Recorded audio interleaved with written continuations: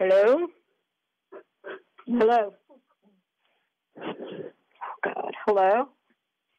We can hear you. Thanks, Miss Ordway. Uh, oh, I'm sorry. Okay. Just make sure you put yourself on mute when you're uh, when you're not speaking. Thank you. Yes. We'll start in a couple minutes. Oh, okay. We haven't started yet? Awesome. I just wanted to make sure. All right. So I'll mute myself until you tell me we're ready.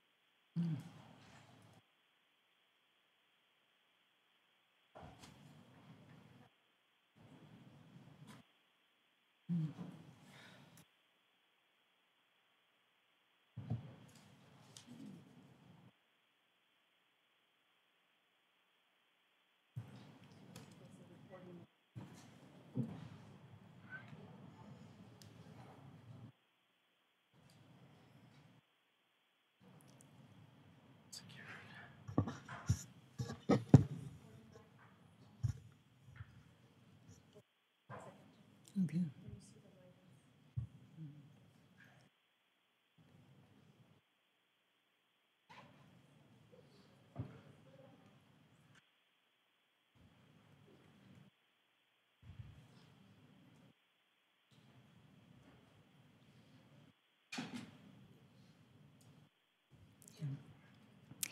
Good evening and welcome to the governing board meeting for the Deer Valley Unified School District on Tuesday, November 14, 2023. I call the order to meet at 7:05. Let the record reflect that all board members are present except Mr. Carver. He'll be here uh, late. If you are able to stand, please do so and join me for the Pledge of Allegiance and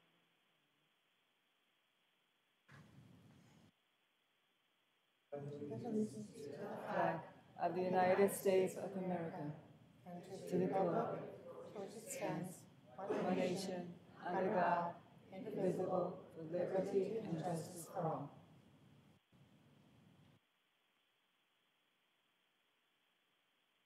You may be seated. Can I have a motion to adopt the agenda? I would like to make a motion to adopt the agenda, moving discussion items A, B, and C to directly follow 7C. Which, which item? She wants to go over discussion items. Um, which? hmm. Uh, we don't have a second. Wait, can you, what is, what was the? Uh, to, uh, uh, Mrs. Ordway, can you please repeat again? Um, I would like to um, move the discussion items A, B, and C to directly follow 7C. The um, content of the meeting up until then should move quickly, and the discussion item could be in its natural place.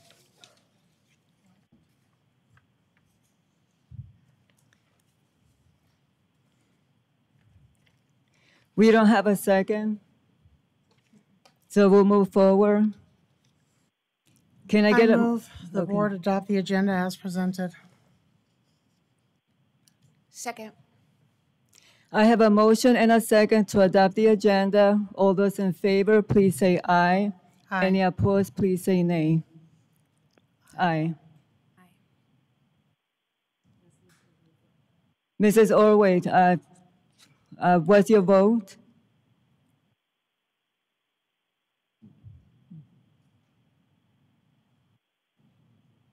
Does she have a computer?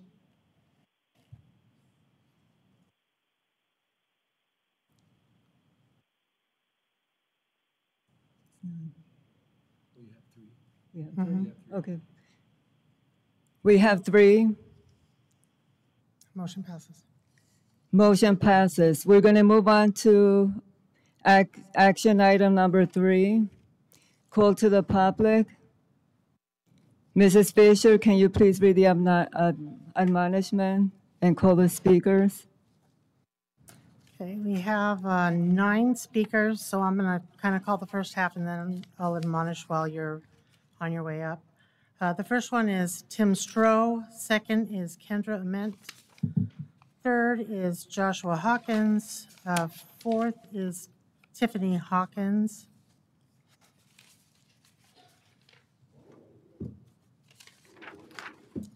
The board invites public comments on the district's business in general and any agenda item in specific. All speakers must observe the rules of decorum. Speakers must fill out a card listing the name, address, and topic handed to the board secretary prior to the president calling the meeting to order. Speakers must make their comments in no more than three minutes. If necessary, to accommodate all speakers in 30 minutes. Overall limit, the board's president may shorten each speaker's time. Constructive criticism is in order. Rudeness, vulgarity, disruptive conduct, remarks disparaging personal dignity are not in order and will not be allowed. Under Arizona open meeting laws, the governing board cannot discuss or act on any items not listed on the agenda. Board members may respond to criticism made by a speaker, ask the staff to review a matter, or ask that a matter be put on a future agenda. So if you go and speak, uh, step up to the uh, microphone, state your name for the record, and uh, begin your uh, public comment. Uh, Thank you very much. Uh, My name is Tim Stroh. Um, Thank you for the time to speak tonight. Um, I'm here tonight to raise awareness and to encourage change in the enforcement of Deer Valley School District athletic policies. My daughter attended Deer Valley High School last year and had an IEP. She was discriminated against by two coaches and the Deer Valley High School athletic director. I went through the appropriate process and raised my concerns with school staff regarding my daughter's case and how district athletic policies were not enforced and the school refused to budge. However, after finally meeting with the district athletic director, he immediately agreed with the evidence and sided with my daughter. The problem is, is that district staff agreed with my daughter's case, but the school staff still refuses to address the problem. This is unacceptable to my daughter and to kids currently attending Deer Valley High School. District athletic policies need to be enforced, and unprofessional behavior by coaches needs to be addressed. I truly um, understand the challenges that teachers and coaches face on a daily basis. I am extremely grateful for all that they do, but coaching student athletes is a privilege that comes with great responsibility, and coaches need to be accountable for their actions. I have been patient and worked through the process over the past several months to resolve this issue. We have contacted the Arizona Center for Disability Law, Arizona Department of Education Exceptional Student Services. We have filed complaints with the Arizona State Board of Education and the Office of Civil Rights. Tonight, I've left each one of you a packet to review and hopefully and potentially take action on this. Thank you very much for your time. Go ahead and step up to and state your name for the record. Kendra Ament. Good evening, President Paperman and board members. I come to you tonight as a concerned parent and worried of what's to come. Many troublesome issues have crawled their way to the surface. Bullying harassment policies are out of alignment with the law. Unwritten rules contradict themselves. Basic safety training that has been patched together. Students openly defying, defying MTSSB guidelines, physical fighting, drugs, we- and weapons on campus. District staff ignoring or not knowing policy and reporting parents' concerns about s- school staff failing to document assaults, student disorderly conduct, along with cyberbullying and harassment. Among these issues, the most concerning is several staff members have been allowed to resign instead of terminated and allowed to continue working in the district without notification to the community. When they have documented sexual misconduct with students and or abuse. Why is this being allowed? I've had my fair share of discrepancies with this dist- with the district, but this is outrageous. I pride myself on the way I raised my children. With honesty, integrity, and respect, they have always understood their consequences for poor choices. In the years I have been in this district, I have seen how far how fall, fa- far we've fallen expecting accountability, holding students responsible for their actions and their words, keeping staff up to date on, pre- on prevention and proper training, having a plan for anything that may come. Lately, this district seems unprepared for the issues that are in front of them today. No more excuses. This must change. I want to actually thank, thank the Hawkins family for bringing light to many issues we face as a district. The constant lack of open communication and consideration of the students and families affected by poor leadership will lead to further contempt. They have brought attention to a significant mismanagement in policy and training. I respect their strength and determination in bringing factual information to the public's attention and making information available to achieve responsible and needed changes in policy. I also believe an apology is owed to the Hawkins family for the unprofessional and stunning disrespect Superintendent Finch and Assistant Super Z showed towards the concerns while calling them liars, interrupting their public speaking time during a board meeting. We expect more from a superintendent and our school leadership. The work the Hawkins family have done to bring facts forward have reached the community, and parents are realizing the district's policies are not unified and the schools are made to administer rules at whim. Parents are asking questions and seeking answers. You can't ignore these concerns forever. Eventually, you'll end up with an avoidable mess that's too late to make right. Do the right thing and make the necessary changes and hold the district admin responsible for their failure in providing unified direction and follow through with policies they put in place. You, the board members, were elected to be the oversight, to be the voice for students and parents, and to find resolutions to issues the community brings forward. We, the community, expect you to stop the petty excuse me, the, stop the pettiness of differing personalities. Do your job by coming prepared and attentive to the board meetings. Work to find quick solutions to concerns and publicly address all resolutions so the public is aware issues aren't going unnoticed. Too many times have too many excuse me, too many issues have been swept under the rug, only come back with a vengeance because action is not taken. The students, parents, teachers, and the community expect better. You need to do better. Step to the microphone, state your name for the record. Joshua Hawkins. Good evening, Board. I'd like to take you back to a time when things made more sense, when this district seemed to have things in order. 2018 was a big year. May 8th, 2018, special session. Jim Migliorino is asked how the district is going to fulfill its obligations towards instructional time during the Red for Ed movement. Per Jim, the state statute, and I quote, has an or in it requiring 180 days or hours.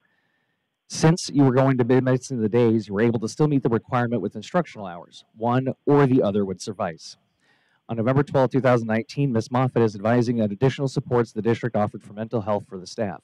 Ms. Moffat is referring to the supports and efforts to promote. She says, We know that if we put something out there, just tell people it's there, never touch it again, and never tell them how to utilize it or how it'll benefit them, it will never be used. While Mr. Migliorino has a firm grasp on OR, the rest of the district is still struggling to process OR on their JICK policy or how to interpret the prongs of bullying and harassment. Even their internal administrative management guidelines on this policy only restate the policy's words and doesn't provide any further clarity. The AMG in question hasn't even been revised since 2016, long before Dr. Finch came on board. And yet, seven years after its last revision, we are still following the same failed guideline. This AMG clearly states that both aggressor and victim are to have documentation, yet everyone in the ALS team has confirmed they typically only document the aggressor. How shameful that this district neglects the victims and protects the bullies. As Ms. Moffett had hit the head in 2019, that if you fail to return to your instructions, you fail to learn the lesson. If you never touch it again, you will forget about it. The state of Arizona put into law in writing in 2011 ARS 15 341 that states all alleged bullying and harassment cases are to be documented. In ARS 13 2921, legal definition of harassment, nowhere does it say it must be first repetitive to be documented. Nowhere in either law does it state that you first pass judgment on actions before you investigate and document. Alleged means trust first, but verify through investigation. Even if you update policies and practices now, even if everything changed, how can we trust you will follow through? Over the last six years, you failed to notice the inaccurate policies or out of date practices. As per ALS manager Tony, we wouldn't even be aware unless you brought it to our attention. Our district is too big, and the admins would live here learning to try all the policies and laws. Six years is more than enough time. Did you follow Ms. Moffitt's advice from 2019? Did you look at the policy again, explain how to utilize it, how it will benefit them, or was it never used again? So, what tangible impact can be seen from 2018 when the JICK policy was updated till today? Please state your name for the record, um, and then your three minutes will begin. Tiffany Hawkins. Good evening, Board. Our government writes the laws, our policies must follow the law, and our practice must follow the policies, which then follow the law. So your practice should follow the law. Per practice, harassment must be done three to four times as a classroom behavior action before it becomes a major infraction and sent to the office for the first major consequence. This district refers to the discipline matrix as listing all major conduct, but harassment can be done several times before it makes it to the matrix for discipline. And further after that, the minimum consequence is a conference, a talking to. Not to mention, you may only document the aggressor in SIS and likely not the victim at all. While your AMG states that both parties are to receive documentation on their records, in addition to reporting it in the Office of Civil Rights reporting sheet. So are some of these cases that are missing documentation in PowerSchools also missing from the civil rights reports? From missing reporting forms and missing safety trainings to fistfights in the halls, this district is missing some massive oversight. As Ms. Moffett explained, that if you never come back to it again or touch it, you will never use it. Our practices are not in line with the law because you never came back to it. Documentation is being forgotten because this district hasn't clearly explained the benefits and how to utilize it. I see the ALS team visiting all the campuses and social media. Seems like a great opportunity to perform an audit at all the schools' records. As ALS manager Tony stated, this district wouldn't even be aware of their policy, documentation, and practice issues if we didn't bring it to their attention. This is where an oversight committee should be formed a team that simply visits campuses to verify compliance of policies and laws, a team that checks records and documentation requirements. Tony verified that no one goes back and reviews the discipline codes after they have been entered into Panorama. With ambiguous policies, inconsistent documentation, lack of training, and no oversight of data being entered, how many of these are being incorrectly reported as one behavior instead of another, or not at all? Mind you, the superintendent's bonus is tied directly to this data being reported. But these are all the ideas that the district should be working on themselves and not relying on the parents to tell them when they're wrong. I'm not getting paid to do your job and review your policies in action. Even if a concerned parent comes forward with a legitimate issue, it takes months of waiting, months in person meetings, emails, board meetings, follow ups, and anything else that can be used to silence us. As ALS director stated, sometimes you have to have faith in the bosses of the ones that you feel are breaking the law. While I understand what he meant, it is difficult to trust that when the director also says, I understand how it is difficult, especially for a parent when it's not in the language. It is difficult to practice. As Ms. Moffat said, if we put something out there, just tell people it's there and we never touch it again and never tell them how to utilize it or how it'll benefit them, it will never be used. It is time to look at everything again, stop breaking the law, and make changes to save these children. Okay, the next group, uh, Kim Merrow, Michelle Cole, Judy uh, Dallas, uh, Jerry Knorr, and Stacy Brochus. Thank you. They're mixed up now, sorry. So the first speaker can just go and step to the microphone, state your name for the record. Um, and then you can begin. Kim Merrow. My name is Kim Merrow, and I'm a parent of two students in the district. I have the pleasure this summer to be a part of the process of adopting a new mathematics resource for the district in K through 5. The process was very interesting, and I've met some amazing teachers as well as other parents and people from the community. I learned this is a very hard process, and we have in the district a lot of great teachers who are interested in making sure our kids have the best learning experience. I personally preferred iReady Classroom, and here's why. It has a very good digital and paper content. So for students who need the digital stimulation, they have that. The resources for parents were great and very easy to use. They had online games that was included in the cost, and the kids can play against the computer or their classmates. As the students play, it gets to know the students where the student is educationally and gives them related content. A great bonus is data. In most places, most businesses, we rely on data, and the fact that the data from the previous year's students' growth travels to the next year's teacher is excellent. In addition to that, if a new student joins the district and comes from another iReady district, that teacher will have access to their learning data. Last, when presented to us, They said that if our content or our contract with them and the district felt the kids were not learning to Arizona standards, we could request a refund. There was not a single other company that offered that. Thank you for your time. Same thing, step to this uh, microphone, state your name for the record, and you can begin your three minutes. Michelle Cole. Good evening, members of the governing board, staff, visitors, and listeners. On October 25th, Dr. Dickey came into my classroom from 1245 to 1:30 to record a lesson. I did not volunteer to have this happen. I was just told the Friday prior that this would be happening. I did believe that this would be a learning opportunity as I am a TPP teacher and Dr. Dickey is portrayed as a master teacher. Dr. Dickey entered my classroom with Dr. Knight, Lisa Crane, and Tony Galletti. I was told to sit in the back of my classroom and observe as Dr. Dickey would be running the lesson. He started by stating the norms as my students started to raise their hands and ask questions. They also started using their hand signals for bathroom water and to get a tissue. They also lis- listened on my board with these are these are also listed on my board with pictures. Dr. Dickey states that this is clearly no routine in this classroom. First, he had never spoken with me on what my classroom routine is. During direct instruction, I do not let my students get drinks or go to the bathroom. He starts letting them do this, and he also let a few students get drinks and use the restroom. He stops them and says no more. He later lets them resume going to do this which then he contradicts what he told them and it's not following my routine throughout the lesson he treats my students terrible i had i had them sit back. Eh, I had to then sit back and just watch. Well, not only did he do this, but the administration and two district employees also did absolutely nothing during this. I felt attacked in my own classroom, not only personally, but professionally. It was humiliating not only for me, but my students. He spoke about the lack of adults in their lives. He also called out one student in my class and the mother in his life. He had no idea about this particular student and what the student's background is. He also called out another student, which is one of my ELL students and autistic, and he also started shaking and was very scared during this. I have also made such positive strides with the students in my classroom, and Dr. Dickey scared him and also started saying bueno to him during this.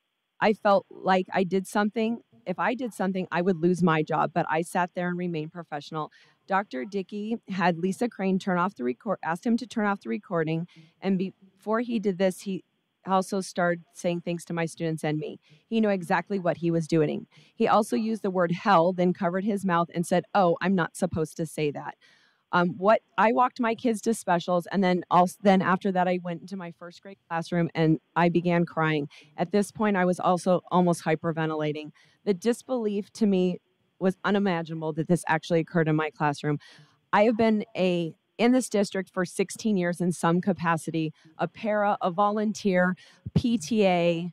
Now I'm a TPP teacher. It was absolutely hum- humiliating what this man did in my classroom. Thank you. Step to the microphone, state your name for the record, and then you have your three. Judy Dallas. Good evening, members of the board, staff, visitors, and listeners. I teach kindergarten at Sunrise and have been teaching for 16 years. I am a proud DVEA member and I am here to show Miss Cole support. She is a hardworking TPP teacher that goes above and beyond with planning for her students. You may not know that she stays on campus late and makes sure her students have what they need each day. I am relieved that Dr. Dickey will not be returning to our campus again and proud of our principal, Dr. Knight, for standing up for her team. I have heard hashtag extraordinary as our, as our DVUSD motto. That should include employees as well as consultants. Dr. Dickey has harassed staff professionally and sexually and embarrassed students while on campus. IEPs are to be followed by teachers, support staff, and all employees working with students. This does not exclude Dr. Dickey. Dr. Dickey should be making accommodation, accommodations for IEPs and EL standards. Being familiar with all academic standards, including EL standards, should be a requirement when being hired for this type of work. Hearing of staff, EL students, or, or students on IEPs being brought to the point of tears or embarrassment in front of their peers and supervisor is unacceptable. We have worked so hard as a whole community to help each student succeed. This is unprofessional, and we will stand up for our students and staff when we know it is wrong. Enough is enough. Please do not let this happen at our other Title I schools or other campuses. Let's be better and strive for a hashtag extraordinary. Thank you for your time. State your name for the record, and your three minutes will begin. Jerry Knorr. Uh, good evening, board and uh, attendees and paid staff. I want to just uh, bring up the last board meeting. Uh, we went through the board meeting and got to the items on the agenda of bullying. And pri- just prior to that, we had one board member go offline, leave the meeting. We had a second board member leave the meeting, which abruptly ended the meeting, not allowing us to deal with the bullying, which is apparently a huge problem in the district that's been going on for a long time. That just kind of shows me and the public, I believe, what how the board sees this issue and that tells the employees uh, to follow lead. I'm sorry to see this. It was one of the most disgusting and disrespectful things I've seen in a long time, especially from a leader. I've watched the Hawkins family come in here week after week after week to these board meetings, trying to appeal to your senses of their issues. They've been following along the school policies as best I can see, and they're getting nowhere. If each and every one of your board members have not met with this family personally, I find that to be very sad. And it's obvious that maybe we don't want to fix these issues or deal with them or make them right. I'm very appalled by this. And apparently it's just going to continue. I hope we get to some kind of resolve. I'm sent an email to every board member and I'm asking for an apology to this family. They waited very patiently with their kids for this last meeting uh, to be walked out on. I've just never seen anything like it. Uh, one particular board member I know very well, when she had her kids in school, would have been first in line to deal with this bullying issue. Uh, she would have been something to deal with on it, but nothing but silence now. Because I guess what? It's not your kids. They don't belong to you. It's not your job. I'm not sure what the problem is, but it's sorry to see. And I'll just continue alerting the public and the families, and we'll just watch our kids and families leave public school by the droves to private schools where they apparently get things right. So thank you for your time. Um, I just want to make one response because it's um, a response to criticism.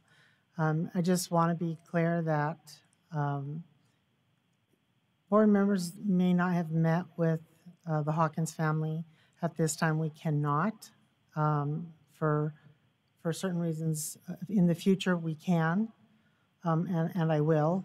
But I do want you to understand that uh, at this time. We, we can meet with them in this setting, um, but we, we will meet with them in the future. Okay? Or at least I will. Thank you. Am I allowed Um, to comment on a response? You can respond to something specific, yeah. Okay. Um, this also goes along with clarifying my vote for this evening. I do believe that the topics up for discussion um, are extremely important, the ones that are on the agenda tonight. And I want to clarify that I left the last session not because I don't care about students and not because I don't care about teachers, but I left to end the discussion that was completely off track. I had mentioned a couple of times to the board during the study session that we were off topic with no response. We can have productive discussions without taking hours to do so. When we get off track, we are no longer helping our students and teachers. We are becoming selfish and hijacking the conversation for personal interests. Tonight, I ask that we be respectful of each other's time and stick to the topic and have productive discussions. Go ahead and step to the microphone, state your name for the record. Stacy Brocious. Good evening, board members, Deer Valley colleagues, and community. My name is Stacy Brocious. I am a proud parent of two Deer Valley students currently. One has already graduated. I am an educator in Deer Valley, and I'm currently the vice president of the Deer Valley Education Association. Um, I've come to speak about something that is completely disappointing, and that would be our bond and override not passing.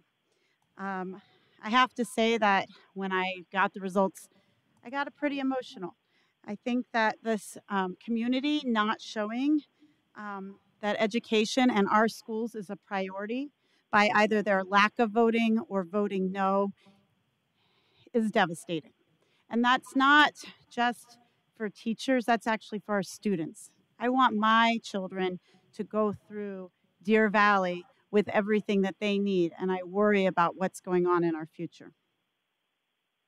More importantly, though, I'm very disappointed by the employees in the district that didn't do much to help make the effort to get those votes to pass.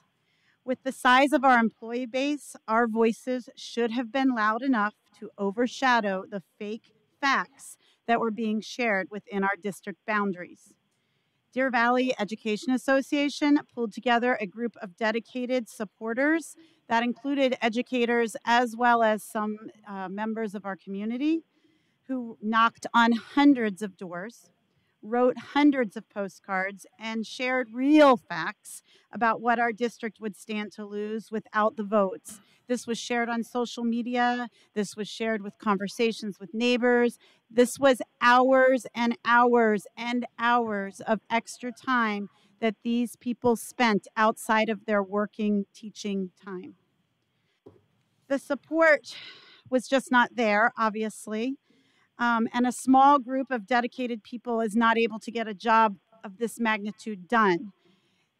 And we shouldn't have been tasked to make that change for the entire district. We can't make any positive changes without an organized effort. If the district truly wants to see a bond and override pass, which has been in place since 1991, then the district needs to get organized to make that change. And this is all of us within the district. I know and I hope that this is the plan for the next election cycle. And I hope that Deer Valley will come together as a whole to stand up and not give it to just a certain number of people and make sure that all of us are in part, part of making positive change in our district. We are a community that should have come together as one voice, a community that should have made their focus on being hashtag extraordinary and working united. Thank you. Okay, moving on to discussion. Uh, Mrs. Fisher, uh, bullying. Um, well, I'm I'm a little bit, um, little concerned the items that we had asked um, be attached to this were not. Um, and I'm a little concerned that um, a uh, board member believes we were off topic.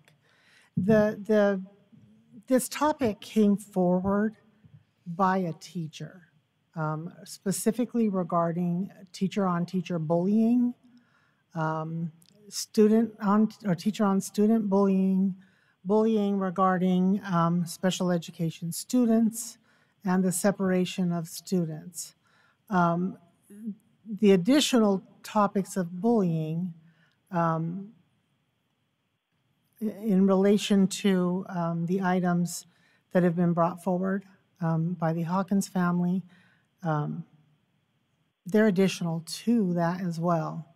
So to have a productive conversation, I really, I, I guess the first thing we need to do is, um, I do not see Miss Moffat.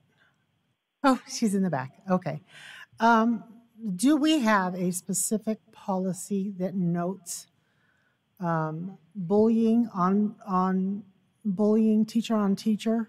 Or, I mean, is it just the standard um, harassment in the workplace? Or do we have anything that specifically notes bullying or Um, any type of things regarding special ed versus gen ed teachers, anything of that nature? We don't have anything like that. Has there ever been anything that's been considered in policy?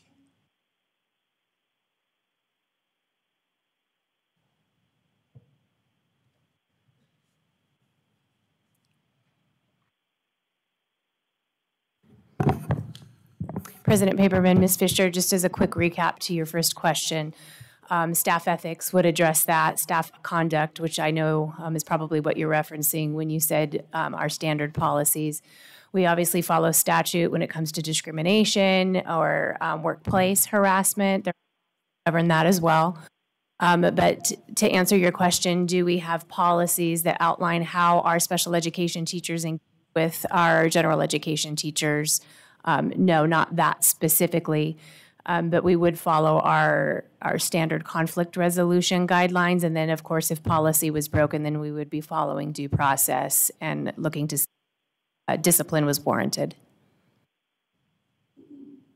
Okay. Um, that being said, because I don't want to recap, but at the last meeting, for those of you who did not attend, I had received a letter from uh, a group of teachers um, specifically regarding bullying um, special education students um, by gen ed teachers or special education teachers by gen ed teachers. I, I don't have a direction to give. I don't have a solution. That's why I'm looking to you to see what we have and is there something that we need to do. And I don't know if there's something that we need a greater topic conversation on that half, on the on the employee half. Um, I do know that there is also um, staff conduct with students, and that would apply to our our our special education teachers being um, or, or our special education students perhaps not being quite accepted by a general education classroom. Um, that being said, um, and I've always said this for as long as as my son has been in this district, and we're talking what 20 years, 20, 21 years is when my son years ago when he started in this district, and I've always said it that not all teachers have to. Um, not everybody is intended to have a special education student or a special education student in their life. It's not an easy thing. And sometimes, and we have to be able to give our teachers the ability to say, I, I can't handle this. We need to have a team or we need to do something because it, it, it is very difficult. Sometimes behaviors appear or feel like you're being attacked when you're not. It's just their behaviors. Um, I've had that conversation with various principals over the years. Um, so, for the first half of the bullying, the topic of specifically our teachers, I guess what I'm looking for, and the reason I brought it forward for the study session, was I was hoping we could have a more constructive, longer conversation. I do think it's going to have to come back as a study session. I think the whole topic's going to have to come back as a study session. But I wanted to make sure that we had direction so that a study session is it has a purpose. Um, I don't know about anybody else, but I don't have hours to waste if we're not going to come to, to a meaningful conclusion. Um, so I would like to see something in that nature. Is it a training that we need to do? And, and do we have, I hate the word safe spaces, I really do. But do we have a way for a teacher to honestly say, I can't handle this student and it be okay for them? Because I know that, that over the years and the teachers that my son had, there were some who could handle him like that. He was like king of behavior for them. And there were others that just weren't equipped for it. And he was like a Tasmanian devil for that poor teacher. And, and the one teacher that, that he was a Tasmanian devil for, we ended up with a one on one para, not to protect my son, but to protect everyone from him. And, and so it's, it's important that we're, we're having that. Um, so I'll turn it over to the other board members if they have something to add. But I'm asking that we bring at least uh, that part back as a much greater topic. And I would like to see some special education teachers and gen ed teachers who maybe have concerns on what our structure is and what's happening Um, because I've also heard on the gen ed side, teachers who say that I really can't teach because I have a medically fragile student in my class and I'm not trained to be a nurse. So I've heard I've heard the spectrum and and that point is we have to support our teachers or there will be no positive outcomes for special education kids.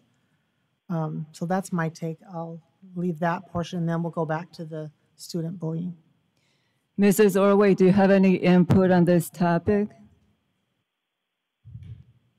I, I'm trying to figure out if we're on bullying or special ed. Uh, bullying. Or if we're mixing it. Bullying. So we're on bullying of staff on staff right now? Yes, item A, discussion.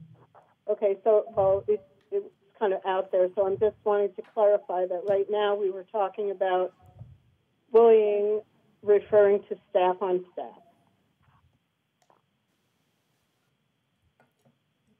Can you, With Mrs. Fisher right now talking about bullying regarding staff on staff bullying. That is correct. That is where we're at. Okay, so if that's something that we want to bring back um, at a at another time when we can have a productive conversation in total, I would like to make sure that we would talk about uh, not we could add special uh, in there too, so we can cover the whole gamut of our certified employees and what might be um, considered bullying or, or whatever we're calling it. Just to clarify, I think what I heard you say, I'm only saying this because I, I just want, we're having a hard time hearing you. I, I believe Okay, what I heard better? you say is that you want us to bring back um, the administrative uh, process as well, or I thought I heard you say that you wanted to have uh, this topic brought back because we're probably not going to be able to talk about it productively. And all I was wanting to add is that if we're going to talk about staff on staff um, mistreatment, bullying, whatever we're going to call it, that we add in all of the staff, and that would include the special teachers. yeah, I think we're asking for the same thing. Yeah, I think we're asking. for the Okay, yeah, thing. that's what I, I'm. I'm just wanting to add the whole the whole gamut of uh, teachers and not just leave it at at uh, gen ed and um, special ed. I think the confusion and what I want to go back and reference about getting off conversation is that we have a discussion here. It says item A, it says bullying. And what happens is that we start talking about something and maybe it has to do with bullying, but then it gets, it's a, it's a bullying and then we have teachers and teachers and then we have um, special education and then we have um, individual students and we need to really just focus on what we're talking about. There's no clear agenda of what the discussion item is. So at this point, it can go in any direction. And I just would ask for clarification on if that's what we're going to be talking about, if it can be stated. So administration, at bullying on teachers on teachers or administration, that's the topic.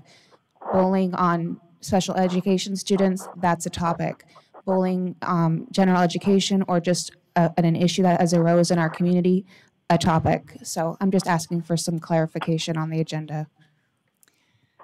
So my input on this topic on bullying, I did uh, during the agenda review ask Dr. Finch, you know, does the district have a process or policy that they can present? Because from my understanding, I don't know if the board members are on the same page. So from my understanding, what I'm getting from teachers and parents, I believe they know uh, what's the policy for defining bullying, reporting bullying, investigating bullying, responding, and recording. Like, how do you record incidents of bullying? So, so I did ask, uh, you know, what what does the district have in place?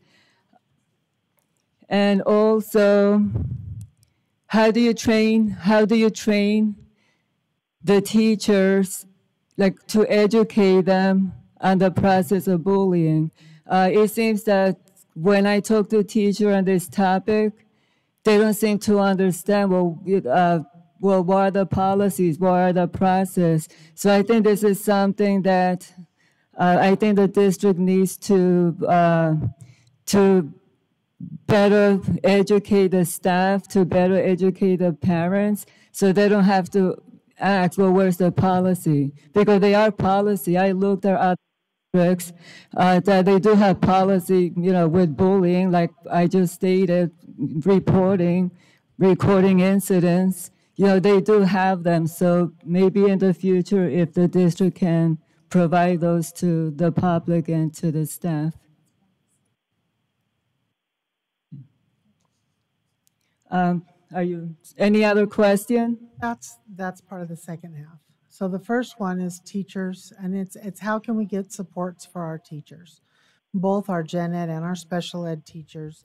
What's happening? Is there something happening more widespread than, than what we know, than the letter that came in? And so that's the first half, okay? I think we got that.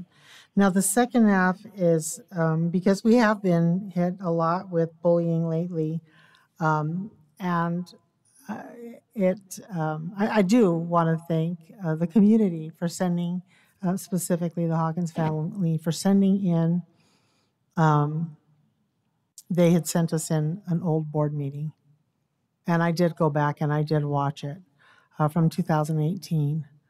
Um, and at that time, we had um, um, an advocate parent, um, actually the founder of one of the parent groups, um, and a couple of other parents from up in the area that came here specifically to address the board because of the uh, uptick in suicides at the time um, and the direct correlation between the suicides and the bullying.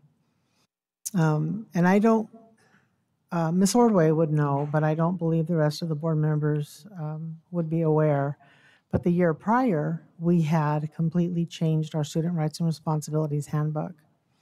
There was a lot of issues within it, um, and the board was very involved um, with um, making sure that our Student Rights and Responsibilities Handbook um, was uh, the direction of our district. Um, and watching that meeting and watching what occurred in that meeting, um, I did try to give myself a pass and give myself an excuse that I wasn't on the board for the for the next two years, but I have been on the board back since. Um, and I too dropped the ball. Um, this board, any board, has not adopted the Student Rights and Responsibilities Handbook since 2017 the board hasn't had it. We get it given to us, but we don't have any input, we don't have any say in it, and we don't approve it. So whatever's changed is changed, whatever hasn't, hasn't. And this board, um, so, so that's the second part, um, because we again have had um, several, I, I have personally attended the funerals of several of our young people. Um, and whether it was bullying or another topic, we're still losing students, and we still have students bullying. And, and um, I think what I'm seeing is that our our our bullying um, for all of the SEL. I, I I had someone tell me, "Oh, well, you're against SEL." No, I'm actually not. It just depends on the SEL, but um, for all the focus we have had on telling our kids to be nicer, they're not any nicer to each other. And the kids who are not being treated nice, they don't know how to handle it any better than the other kids 10 years ago did. Um, something's got to give, something other than our children. And I would like for us to have the second part of that. We can do the same study session or a different study session. But I think it's about time that the board um, resumes their duty. Um, the board has been pushed to the point of your responsibility is to hire a superintendent and support them in whatever they do, and that's it, and adopt a budget. And that's not what the revised statute says. We are responsible for this entire district. If there's a problem with our bullying policies or our bullying processes, it is our duty to be aware of what is happening. And, and the board has been excluded and made unaware. And so I am asking that we also add into that um, a full review of the Student Rights and Responsibilities Handbook, a full review of what our process is for the bullying, where the documentation is, the definition of bullying. Because I will tell you that a student who you see physically manhandle or, or woman handle or handle another student or pull hair or what have you, odds are that's not really a bully. That's just a kid that's being squirrely. Because a true bully is getting their digs in silently where you're not looking. And a true victim often will act out, and they almost appear to be the bully because they're responding. They're responding to a silent or an unseen torture that they are facing. Um, there are, if you think I'm making it up, I'm not. There are 30 years of peer reviewed documentation about bullying, about the true bullies and what it looks like, and internal bullies within um, uh, systems. Uh, you know, I, I, again have asked that the district read real leaders aren't bullies because there's so much in there. You got to get past the first two chapters. It's the Sandusky uh, situation, and it's real boring for the first two. But then once you get past it, it really gives you an insight to bullying that can be applied to staff, staff on staff, children. But we have to address this. We can't keep losing kids. So I think we need a full documentation in there, a full review of the Student Rights and Responsibilities Handbook, and a full process of what that looks like um, and so we, it could be separate or it can be part of the same study session. I would almost prefer separate because I think we need to focus on supporting our teachers in whatever they need. Um, and that may be, I mean, I know that that we were very mindful to to add a position to HR specifically for employee relations. Um, you know, Dr. V and I talked a lot about that, and it was it was very important but if it's not working, we need to know that. So that's my request. Um, if you guys will have any more comments on student bullying, um, I'm sure that. Well, what I think.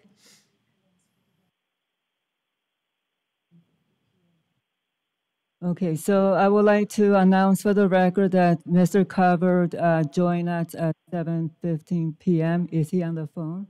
He's on the phone. Okay. So I just would like to say uh, this topic, bullying, is not the first time that teachers and parents are bringing this. Uh, I don't know how the district can educate the community, parents, and staff uh, to provide information, you know, policies, defining bullying, reporting bullying, investigating, recording incidents of bullying. Also, I will, you know, teachers will also like to know, well, what are the referrals for mental health service as appropriate? Uh, you know, we do uh, have students that uh, Mrs. Fisher had mentioned with suicide. Well, what's the process for that? How do we uh, provide those referrals for mental health uh, as appropriate? So maybe something that the district uh, can look into, you know, to educate the public, staff, parents, uh, since uh, they're the ones that are asking these questions. And my concerning is more into the classroom. You, we need to very well educate our teachers and you know providing that information. How do you support? You know, when you see bullying, well, what do you do in the class? Are you trained for that? do you understand the policies? You know, so so we need to, to me, we need to educate our staff so they have an understanding because I'm getting a lot of teachers that they're asking me, well, what policies are in place for this parts with bullying? It, yeah, so so if the district, you know, can provide, you know, that training information or a study session or something, you know, to clarify this and to, you know, move forward uh, in a positive way with our district with communication. So Mrs. Paperman and uh, Mrs. Fisher and Mrs. Simichek and Mr. Carver, would it make sense that we um,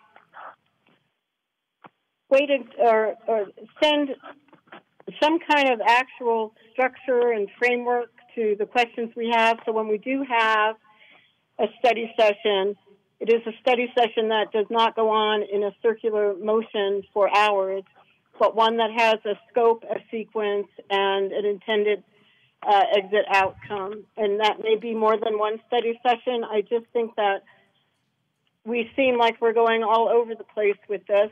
So I do understand what Mrs. Simichek was talking about the last meeting, we actually, the agenda was out of order, which made the meeting have to end anyway. But going forward, I think that more structure uh, to a study session that does not seem to go on and on forever and have no scope and sequence and exit outcome um, is almost useless. So my ask would be that we send in these topics that we're interested in and make sure that we have that uh, facilitated in a meeting structure that will make sense and people do not have to sit there for four hours listening to personal stories, but we can actually have facts and move forward. Ms. Ordway, the Student Rights and Responsibilities Handbook and policy will be our structure. That's what we need to address and review.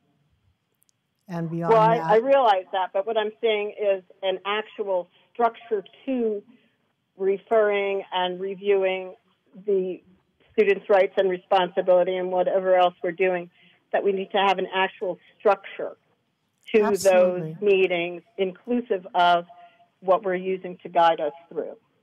I think that would be extremely helpful um, because we're talking about students' rights and resp- responsibility right now again, but we also brought in a couple of other bullying type issues. So if we can have a structure, I think we're going to have a a conversation that can actually you know accomplish what we all want to accomplish and that's hearing from our community and coming up with solutions and I believe this is what the community, uh, parents, teachers, this, this is what they're looking for, uh, for answers and structure. If the district can provide and educate them, and that way it will be clarified. Absolutely. We can follow our, the exact structure we did in 2015 when we managed to rewrite the entire um, Student Rights and Responsibilities Handbook to be a, a great base for what it is today. And so we can then review um, anything new that's occurred um, and move forward with our responsibility. Okay, so moving on to Item B, you're doing special education procedures, special education procedures. Uh, it was not me, that's uh, Mr. Carver. Oh, Mr. Carver. Mr. Carver, are you going to present special education procedures? Can you hear me? Yes. Yeah, yeah. I, I had asked for that to not be added back to the agenda. I appreciated the opportunity to to discuss it, but I will save that for our study session. Thank you for the time, though. Okay, so we're okay. So we're moving item B to special uh, special education procedure to a study session. Okay, item C, Deer Valley Unified School District consulted. Uh, this item was requested by teachers and parents. Uh, I got a lot of communication uh, and concerns uh, regarding this consultant. So I'm going to read what I wrote. Parents, staff, community members, I have concerns. Teachers leaving the district. This is why I put a consultant on the agenda. On August 8, 22, 23 board meeting, I presented to the board reasons why Dr. Dickey should have not been hired. My conclusion I stated, I am asking the board to consider the district going back to the drawing board and find a candidate with better background and also to give the teachers a voice. How do they feel adding more professional development after work hours? We also need to consider teacher retention, which should be a top priority. I also stated teachers do not need more professional development. They need more reading and math intervention. They need counselors. They need social workers. They need dean of students to support with behavior and even bullying. So I had community members asking, well, who is Dr. Dickey uh, on August 8, 2022? So I'm just going to read an article uh, for those uh, that were asking. So here's an article. According to the Atlanta Journal Constitution News, top Atlanta school official resigned, fights release of background report. The Atlanta School District official in charge of the district's expensive and ambitious plan to remake the city school resigned last month and is fighting to keep a report invest investigating his background secret. The Portland School Board hired a firm to look into Dickey's background before formally hiring him. Re that report and Dr. Dickey's response to it ultimately became a key reason the board swore on hiring him, according to the Oregonian.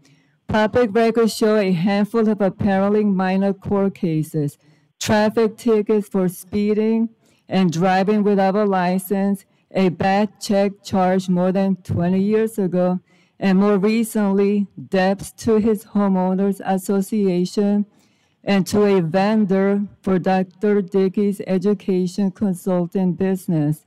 The Atlanta Journal, Constitution, and Portland media outlets asked to see the report under Oregon's public record law. A lawyer representing Dickey asked the district to keep the report secret. The district refused to release it. So on August 8, 2022, I had a lot of teachers and parents concerned with this consultant. Uh, different board members from another state, they did not hire him because of what his background he had, and also hiring an attorney for not providing uh, more information that, that he was asked to provide. Uh, now we're in the future, so now that the board gave him a chance, they hire him. Now we are seeing that there are issues going on within the school, and I believe this is just for Title I schools. So one teacher, she read her experience with Dr. Dickey. So that's concerning. Uh, you know, being disrespectful to the teachers, how the students are being treated. Uh, and I did get multiple emails, you know, from teachers even concerning saying that they're staying after school hours. Are they getting any compensation? They're getting they're getting more training on top of training, and they are very exhausted.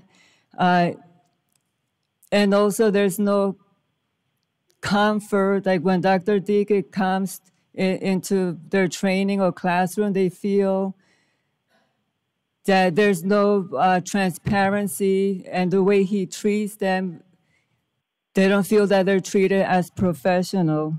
Uh, and it's also concerning with this teacher reading the email that we had district personnel watching this, and this should not be allowed we, we need to make sure that we have consultants or any administration how they're going to treat our teachers because the reality is if our teachers leave the districts who, are, who is going to get hurt? The students. You know highly qualified teachers are hard to get.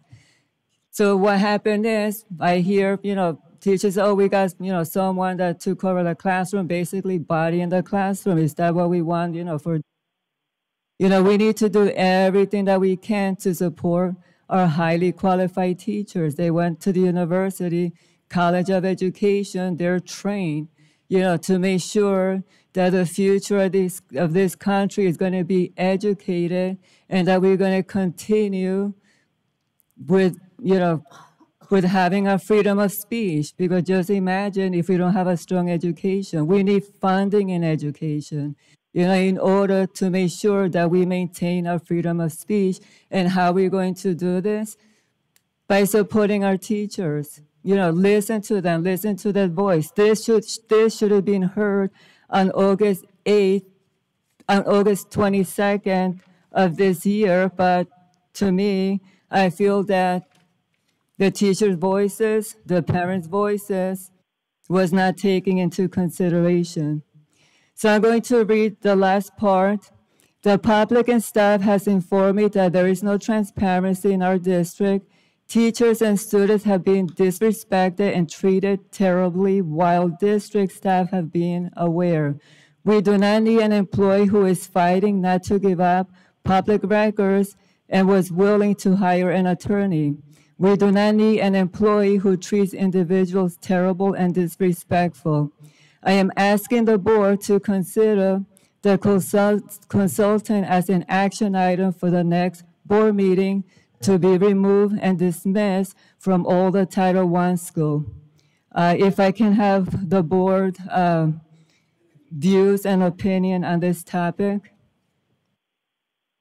Uh, Stephanie? Mrs. Paperman, can I go? Uh, Stephanie?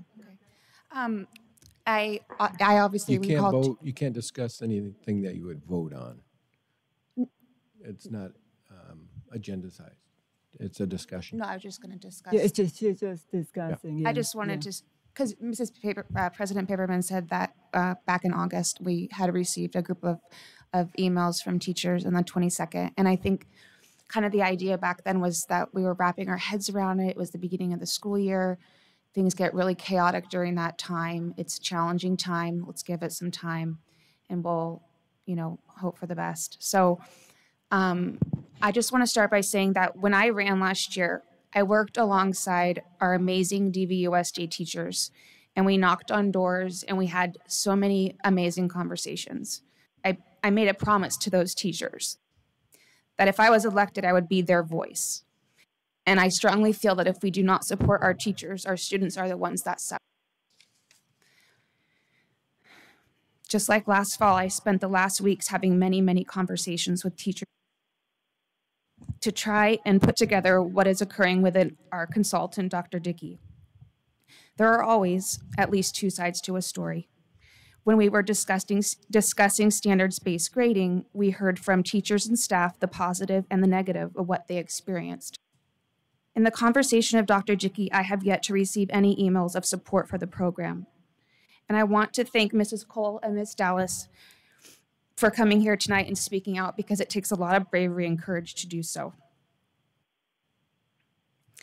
Um, I'm heavily concerned with, with what I've heard. I have um, spoken with teachers. I've received emails. I have two that I got permission from the, the teachers that I would like to share. I'm not going to share their names, but they did give me permission to read. They couldn't be here tonight. I wanted to give some feedback on Dr. Dickey for the Title I schools. I know he was hired by the district to help Title I schools bring up test scores. He is the only going to Title I schools. So Title I teachers are going to more meetings and put and more put on their plate with zero compensation extra time. Our titles needs Title I schools need smaller class sizes, more support staff, more behavior support, full-time deans. We do not need more people to tell us what to do and putting more on our own plates. We have Title I schools with no art or music teachers and schools with only a P, one PE teacher. This doesn't allow regular prep time for those teachers and it is not good for the kids. We have schools with no counselors. Some schools, specials teachers have two preps and other schools have no art or music. I have taught at several schools in the district and I am one of the PE leads for K-8 PE and there is no way this would be allowed at a northern school. It just wouldn't. They would have some filing in or someone from di district office would be helping out at least a few days a week. Yes, Title I kids are tougher, higher needs, more severe behavior, and more kids on IEP. Mirage has seven and a half sped teachers. We need more help, not more things put on our plate. Excuse me, the district should be supporting us with more people, not more programs. Support Title I schools like a non-Title I. And I have another one. Um, I have not been impressed with Dr. Dickey's trainings. I am someone who takes training seriously and truly tries to use these times to learn and to provide more for my students. I am on the eight, my 18th year in this district, and when I have asked specific questions to my needs, he does not give me a specific, but gives high frequency vocabulary words that are not helpful. Every single time we have met online, he has cut the meeting short for a wide variety of reasons catching a flight, bad Wi Fi signal. My time could be better spent with our on our campus coach giving me specific feedback for what I need to do to help support my students. We do not need more people telling us how to do things, but we need more time and we need more direct feedback from people who know our student population. In this school I work at, we have severe behavioral issues that affect learning daily. We have an overabundance of students with undiagnosed dyslexia and dysgraphia issues. Our classes in Title I's make learning hard. We have an overabundance of IEP students with high needs and very little support to move students. We need more people who specialize in helping the specific needs of students. Also, the curriculum we are supposed to teach our students is irrelevant when students cannot read or at or near grade level. It is nearly impossible to teach any other content area or we need more specialized people actually working with our students, not having someone telling us what to do and how to do it. If we could do it, we would. Title I schools are in pure survival mode.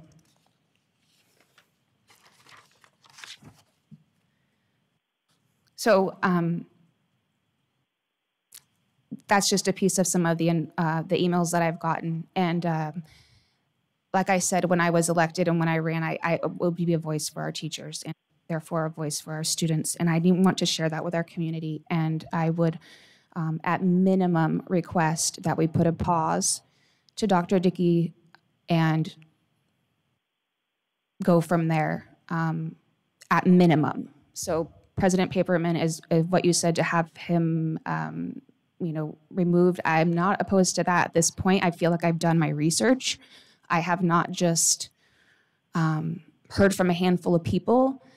Um, I, have really taken the time to to speak with teachers, and um, I am slightly disappointed that more didn't show up today to talk. But I think they're scared. I know they're scared. And it took a lot of courage for Mrs. Cole to come and do that today, and Miss Dallas. Um, but if, bottom line, if we don't take care of our teachers, our kids are not going to be taken care of. And these teachers already have so much on their plate. I mean, I've, I've been a general ed teacher. I have not been a SPED teacher, but that simply alone was pre-COVID with no extra things in a, in a very privileged school here in Deer Valley. And it was really hard.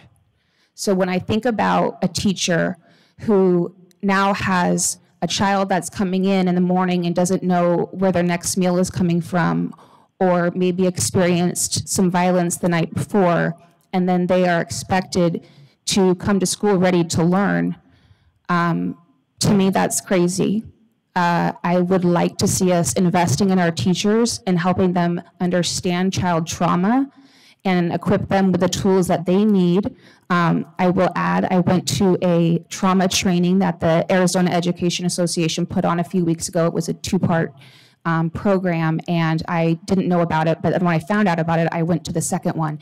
And the amazing thing about this program is that it provided teachers with tools not that they had to completely rewrite their, their lesson plans or restructure any way that they've ever taught, but yet it gave them tools to be able to uh, be able to speak with their students and talk with them.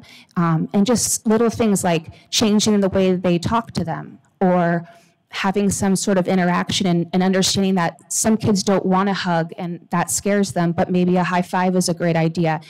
Anyway, my point is, is that there are solutions that we can provide for our teachers in our Title I schools that will help them um, support our Title I students. And until we can make that solid and we can make our teachers feel like we hear them and we're going to give them the tools that they need uh, to be able to take care of their children, then we just don't have a right to come in and start um, forcing a new way of teaching just to improve the test scores. Thank you. Thank you, Ms. Simacek. Uh, Mrs. Ordway, do you have something to say? I always have something to say. Come on.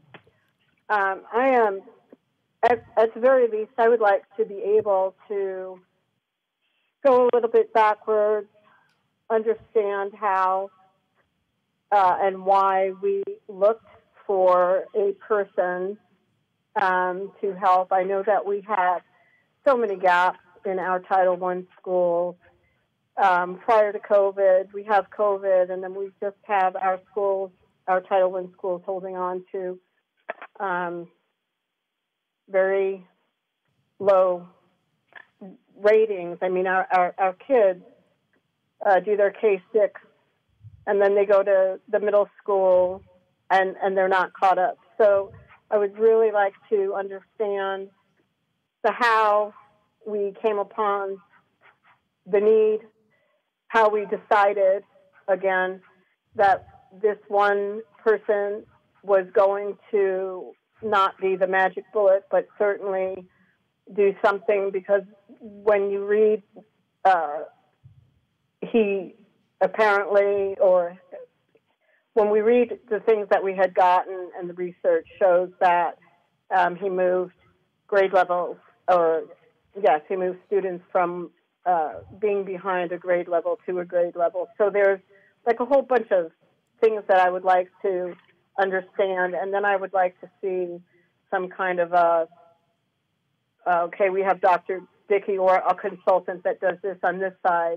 How would it look, and how would we afford to have um, teaching coaches who are going to tell you how to teach again, um, or whatever other personnel that um, perhaps we could hire.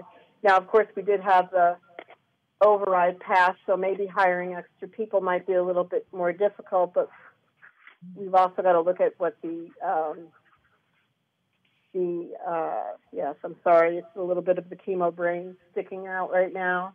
The contract to see what what ramifications are. So I, I think I'm not looking for a vote. I'm looking for a preview on something about all of what I said and what the other four or three board members have said because I don't think Mr. Carver is leading yet. Thank you, Mrs. Ordway. Mr. Carver? Thank you, President Paperman. Uh, as, as Ms. Ordway mentioned, and, and Ms. Simacek, um, I'm, I'm keen to the concerns that we have with our Title I schools, and, and I think that there's a lot of different things that we can do to help. And to Mr. Ordway's point, I, I would, I guess I'd like to understand the how that we ended up with deciding that Dr. Dickey would be a good solution. I understand that his research has generated some good results, but um, his his character seems to be creating uh, a little bit of a uh, flammable reaction here, and I'm just wondering if we're going to get a very good return on our investment with everything else that's going along with it. So I, I, I don't think that there's necessarily something to vote on at this point. To Ms. Ordway's point, but um, I I do think that there's good reason to have some in-depth conversation, and and it doesn't hurt to have the board involved in that.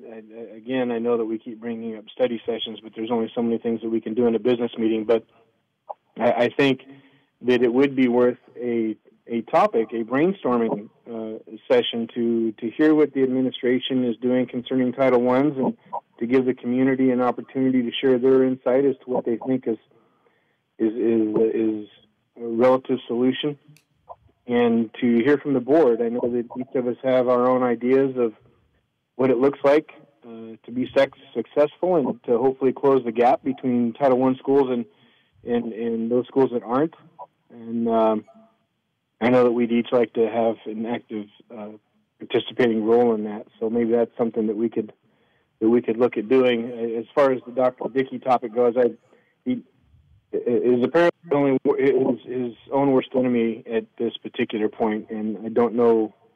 Like like I mentioned, I'm not sure that the return on investment is there to continue the partnership with uh, as much damage that seems to keep uh, piling up.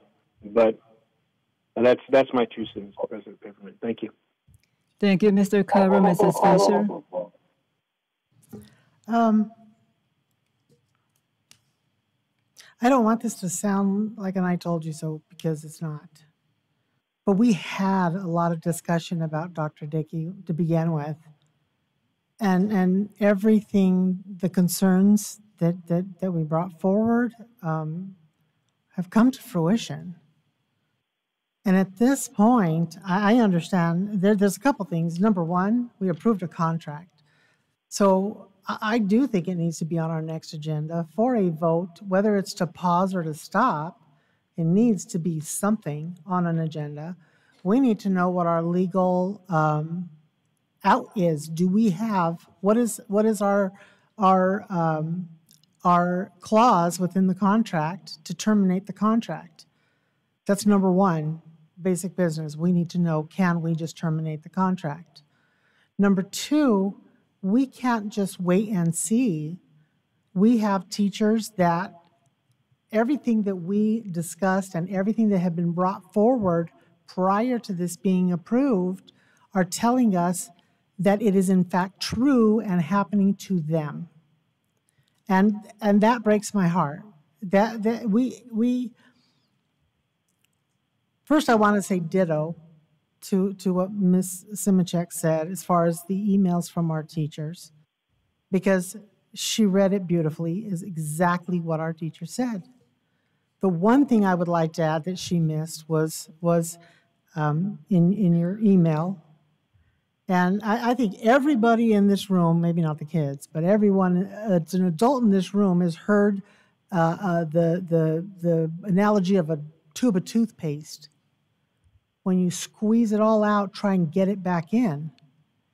And, and we need to know how we're going to at least stop it from bleeding outward. That's number one. And I love, because I love analogies, get a nice, pristine white paper, stab a hole in it, and then pull whatever you stabbed out and tell me if it's healed up. And I will tell you it is not. The biggest thing out of all the emails we received that broke my heart was the student who they had made progress and they were put backwards as a result because you can build trust in a kid over time and you can lose that trust in one action. One action. And then it's going to take a minimum of 20 more actions to to even get it back. But no matter what, you are not going to heal that, that occurrence. It doesn't just go away. And for anybody who thinks it does, I challenge them. I'll give you my phone number because he will tell you what teacher works where, who works here, who works there, who hurt him, who loved him, He's autistic, he's 20, 24, and he remembers every single time. The ones he loves are because they loved him and he knew, and it took years of building that trust. We cannot wait to have another occurrence of what happened in that classroom to happen in any other classroom. At a minimum, we need to vote to pause to not have that occur again. Not only the disrespect for our teachers, but the damage to a child, because it does not just go away. Um, so I will join with Ms. Paperman and Ms. Simacek and say I want it at least on an agenda, whether it ends up as a pause or what it ends up as, I don't know. But um, I do want to have a legal opinion and knowledge of what is the termination clause within our contract. Um, and so I would ask that that be brought to the next meeting as an action item. Uh, President Paperman, if, if I may, um, uh, can I comment to a couple of the remarks that have been made?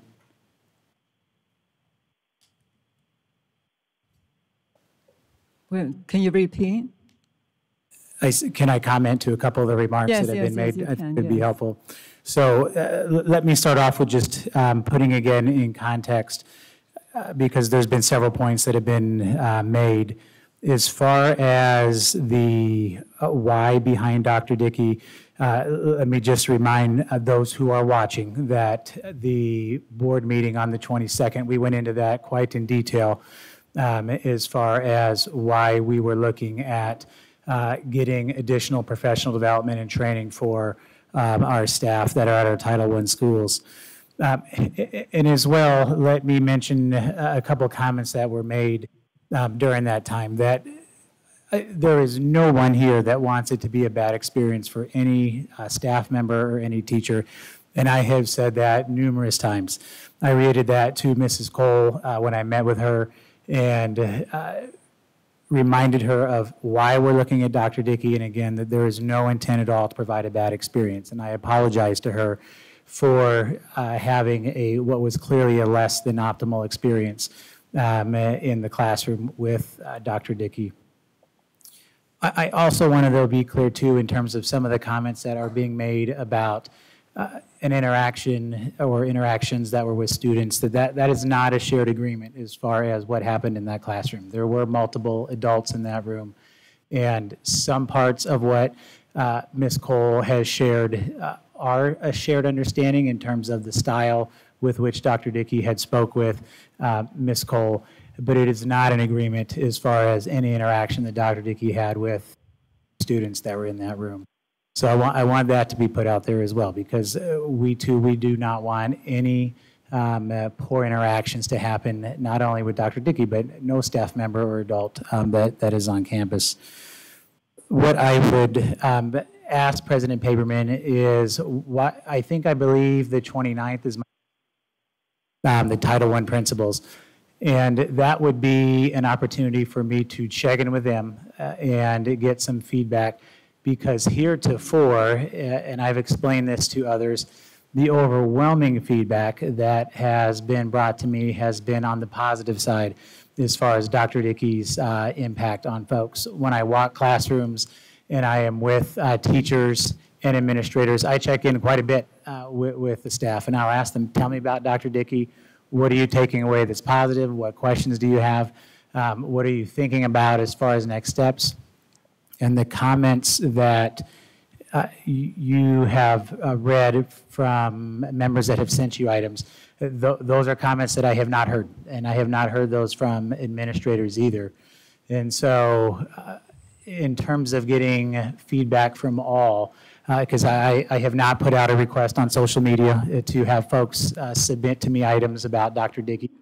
Um, So I think it would be prudent to speak with the administrators, and then I have no problem coming up with some way uh, or method of collecting input from the staff. I think that would be fine from our title schools, and to gauge where they're at as far as um, how they're feeling towards Dr. Dickey.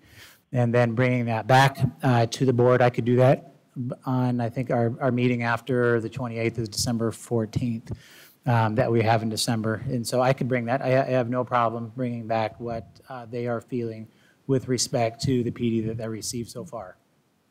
Thank you, uh, Dr. Zurberg. I also uh, would like to take consideration, uh, Mrs.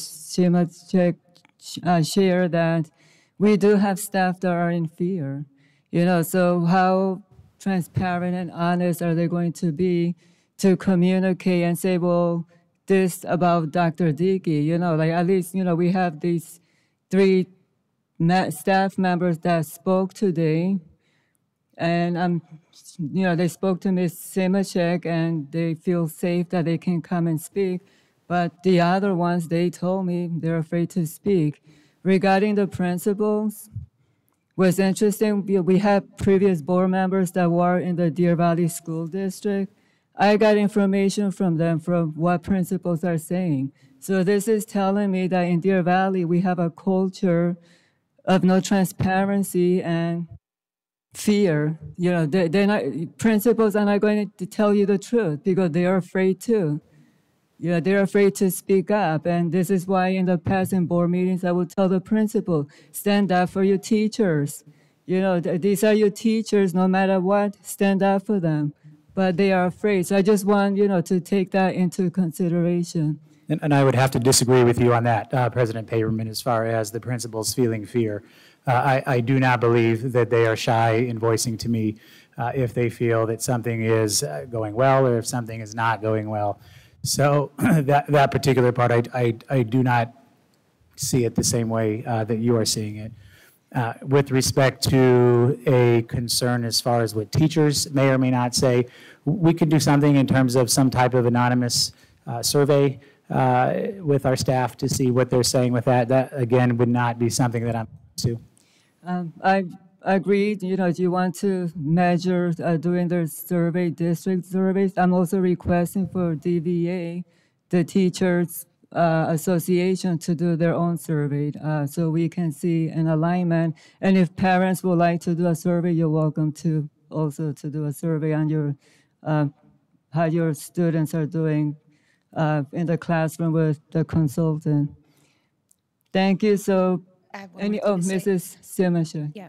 Um, on top of if we were to do the survey, I, I think it's a fantastic idea. I would also like to include the number of students that a teacher has each day, um, the number of preps that they get, and um, how many students on IEPs that they have, or um, I guess that could be pretty overwhelming because there are things like speech that are on IEP that anyway any any anything else that kind of measures the, teacher's workload. Um, because i a, a, lot of what i am hearing is not only do i have all of this stuff going on i'm not getting my prep um, and then i have to do, do all these i have to do these meetings i have to attend these meetings and and rewrite some th- some some things out. So um, i really would like to include on that survey questions that would help us kind of understand the workload that our teachers are having. Well, uh, Ms. Simacek, could you repeat those points? Because some of those we wouldn't need to put into a survey. We, we have that data as far as caseloads, et cetera. Uh, yeah. Um, well, as far as number of students, that's probably, we can probably look that up. But when I say um, number of preps that they have, I mean literally the number of preps they have, not scheduled preps, and then there's an emergency and they get called out of their prep time and they have to leave or mm-hmm. they have to meet with somebody or a parent or go attend an IEP meeting or do sub rotation. I mean, mm-hmm. really, how many preps have you had this year in your Title One schools to help support you in being a successful teacher? Is, is that the one item in addition to the number of, stu- or the caseloads that you mentioned? I think it would be important to talk about teachers and the number of IEPs that they have, although it sounds like we might be able to pull that Yeah, information that could be as pulled. well. Yeah. Thank you. We're going to move on to, oh, Mrs. Sheila. For the record, Mrs. Ordway left the meeting at 8. We're going to move on to item five, district report. Mr. Migliorino, finance, finance report. Uh, President Paperman, members of the board, Dr. Finch, um, just in the interest of time, I'll be brief. Uh, we do have the uh, uh, report for the month of October uh, to share with you this evening. Our working budget, uh, $277 million. At the present time, we are uh, expecting um, uh, all of that $277 million to be uh, to be encumbered. Uh, that does not include the almost $4.2 million that we did not allocate this year, um, again, um, intentionally, and then the additional $8.4 million that the state allocated in one-time funding that was uh, that was allocated to us after we had made our salary and benefit recommendation to the board. So um, right now, we're currently standing with a uh, projected carry forward of $12.5 million into uh, the upcoming fiscal year, which would be the fiscal year 25. I'd be happy to answer any questions the boards might have. Any questions, board members?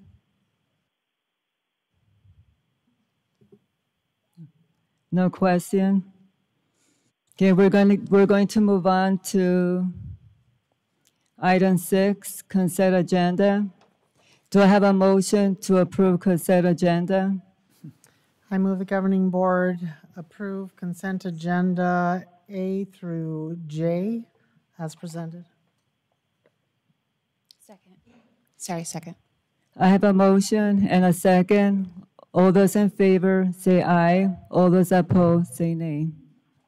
Aye. Aye.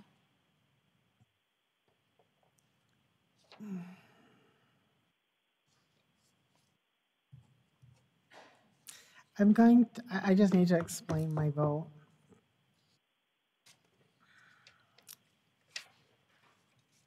Um, Oh, wait, it's a separate item, so I, I can vote a, aye on it. Passes for vote. We're moving to item seven. Action A, approve employee professional development out of state. Mrs. Fisher, can I get a motion? I move that the governing board approve all employee out-of-state travel for professional development per governing board policy GCCE. Any questions, board members? Oh, we need, Second. Any questions? All those in favor say aye. All that opposed say nay. Aye. Aye. Um, This is where I need to explain my vote. I um, did receive information um, regarding some of the content of this employee travel. Um, And I'm, I'm concerned that this, it is completely against everything that this district stands for, against um, what we, um, what we claim that we don't teach. Um, Why would we send individuals to a training um, to teach them what we claim that we do not teach on this district and will never teach on this district? Um, And so for that reason, um, I just, I just can't approve some of the out-of-state travel. Uh, It's just not appropriate for anything that this district claims that it will never teach. So I vote nay.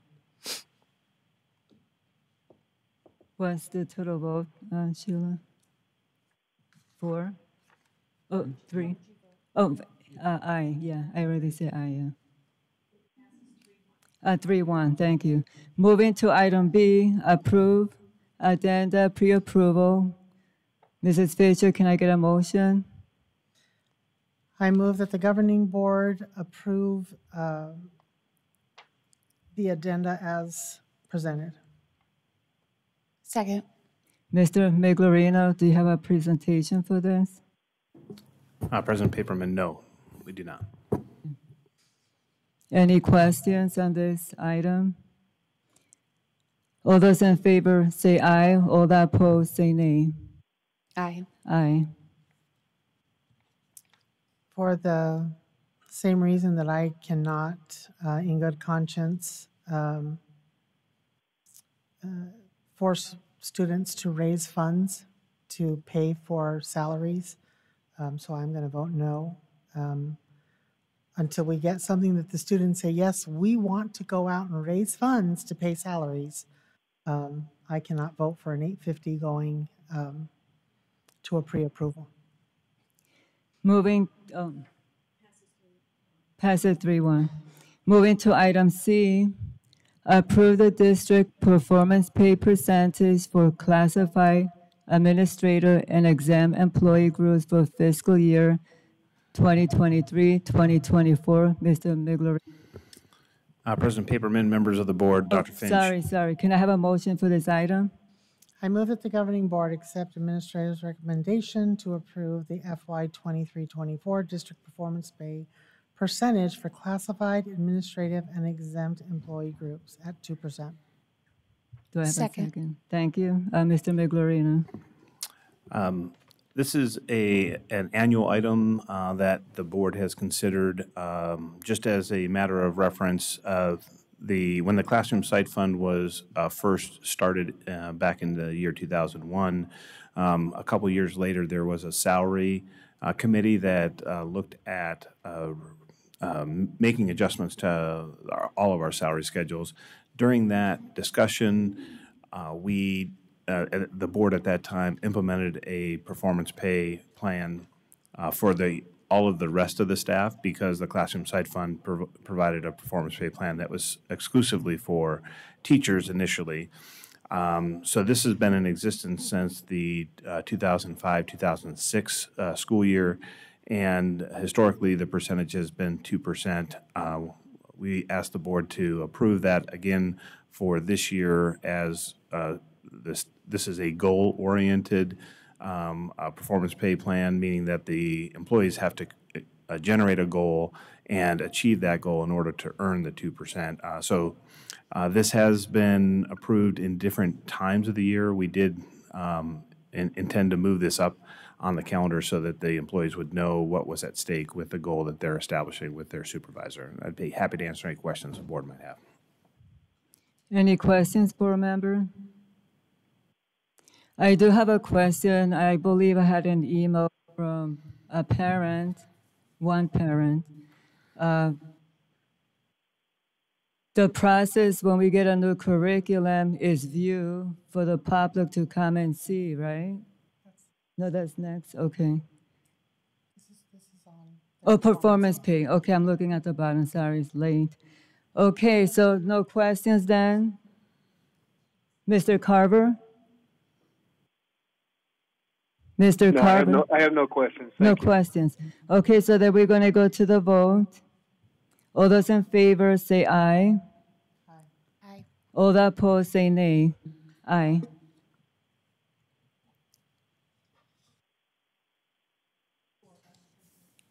Passes four.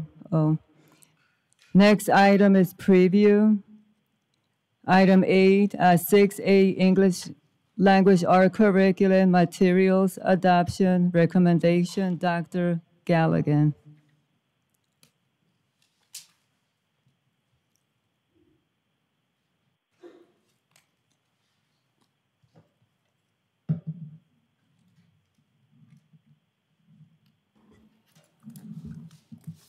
President Paperman, thank you very much. We'll wait for the presentation to come up. Um, Again, President Paperman, members of the board, Dr. Finch tonight, Kathy White and I bring um, the 6-8 ELA Adoption Committee's recommendations.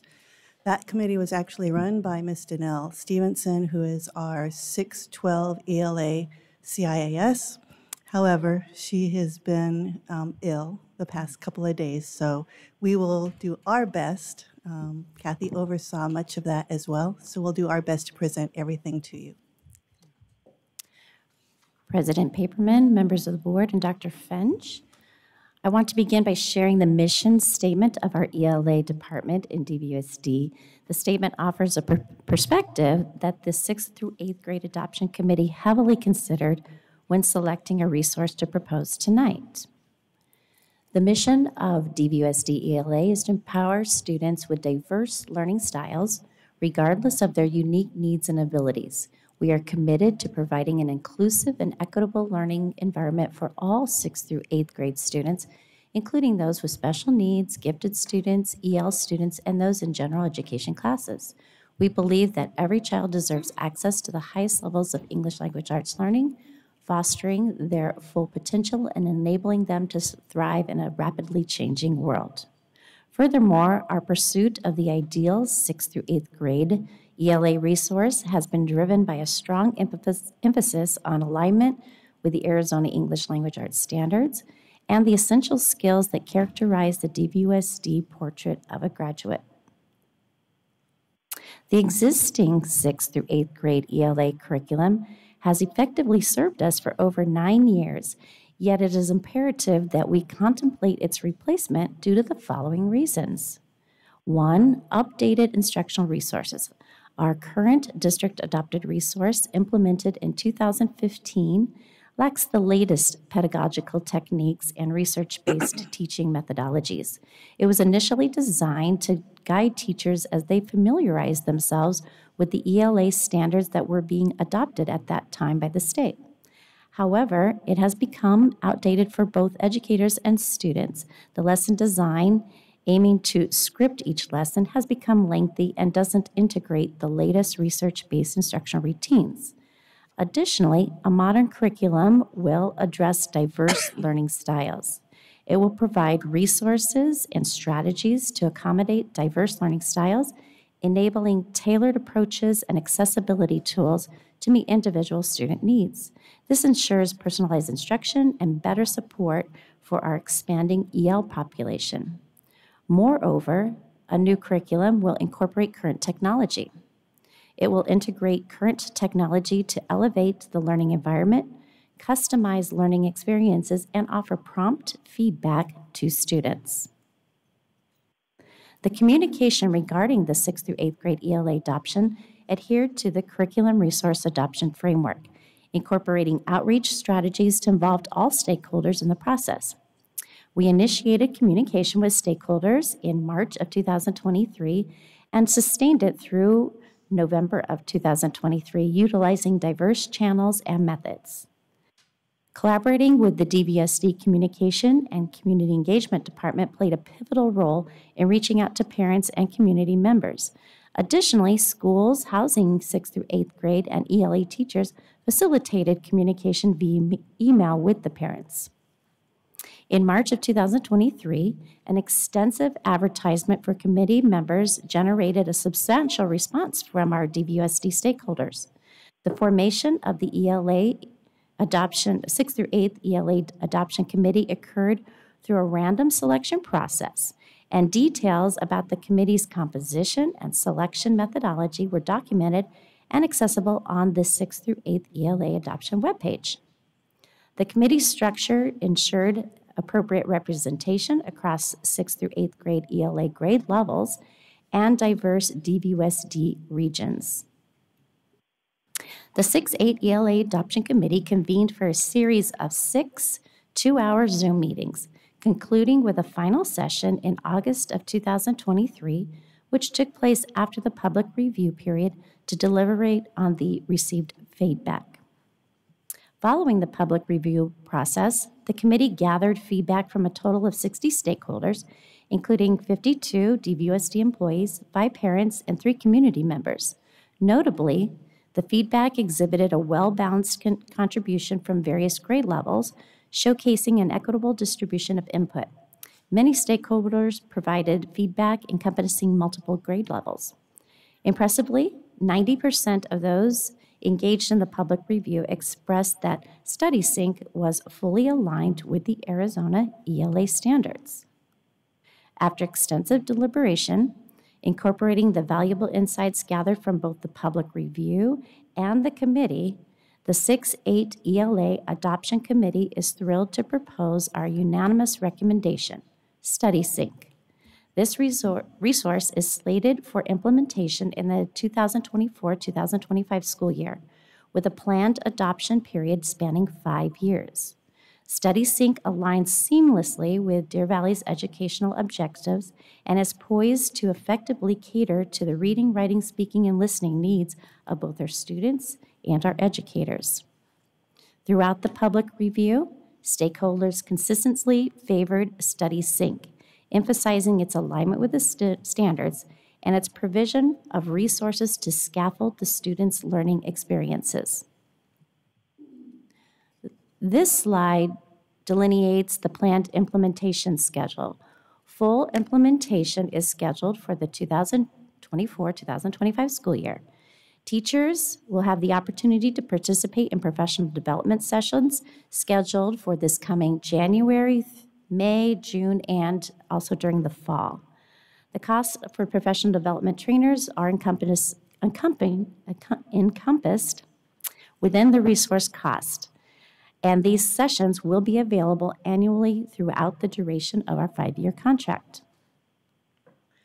The StudySync resource aligns seamlessly with the Arizona standards and stands as a crucial investment for both our teachers and students. This comprehensive resource is poised to benefit more than 7,000 ELA students in grades 6 through 8 while providing support to over 200 teachers. The total cost of the 6 through 8 ELA adoption encompassing tax amounts to $783,394. Importantly, this cost falls within the allocated budget set for the curricular adoptions in this current 23-24 school year. With this investment, we not only fulfill our educational objectives for middle school English language arts, but also operate within the confines of our fiscal year um, 24 budget.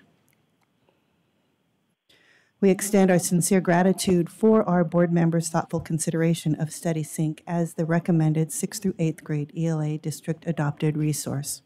We are enthusiastic about the potentials of this program brings, and both the members of our 6 8 ELA Adoption Committee and I and Kathy deeply value your support in endorsing this recommended ELA resource for the benefit of our students in middle school and our educators. Thank you.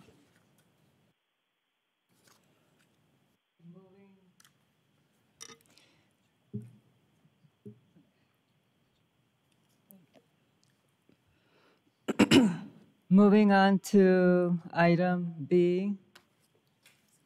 Oh, you have a question on this item? Oh, okay. Paul, do you have a question? No, President Paperman, thank you. Thank you. Moving to item B, K5 Math Resources Adoption Recommendation. Dr. Galligan.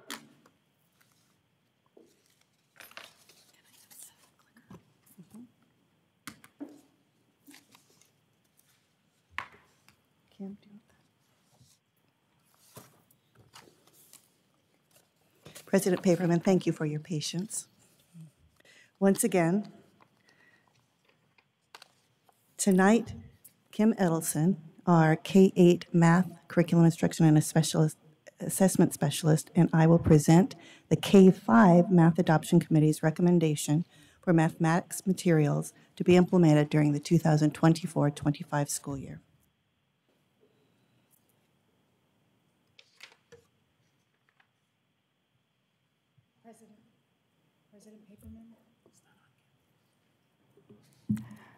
President Paperman, members of the board, and Dr. Finch, it is with great enthusiasm and a sense of pride that I am here tonight as a representative of our exceptional K 5 Math Adoption Committee, some of whom are here with us this evening.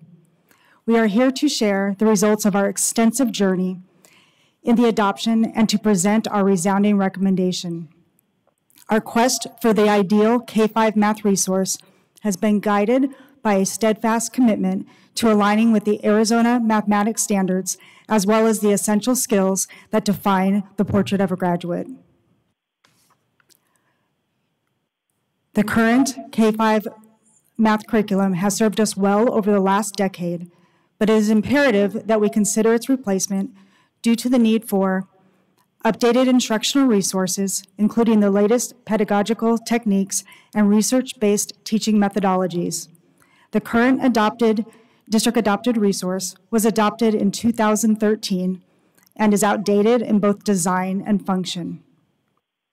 In addition, a modern curriculum will address diverse learning styles by providing an array of resources and strategies designed to accommodate varying learning preferences and unique student needs.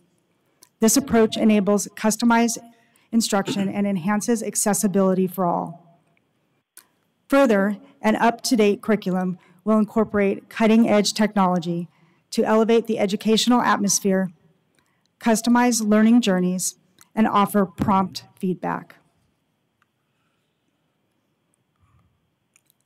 Our communication strategy for the K 5 math adoption adhered to the established curriculum resource adoption framework, ensuring that all stakeholders were actively engaged in the process.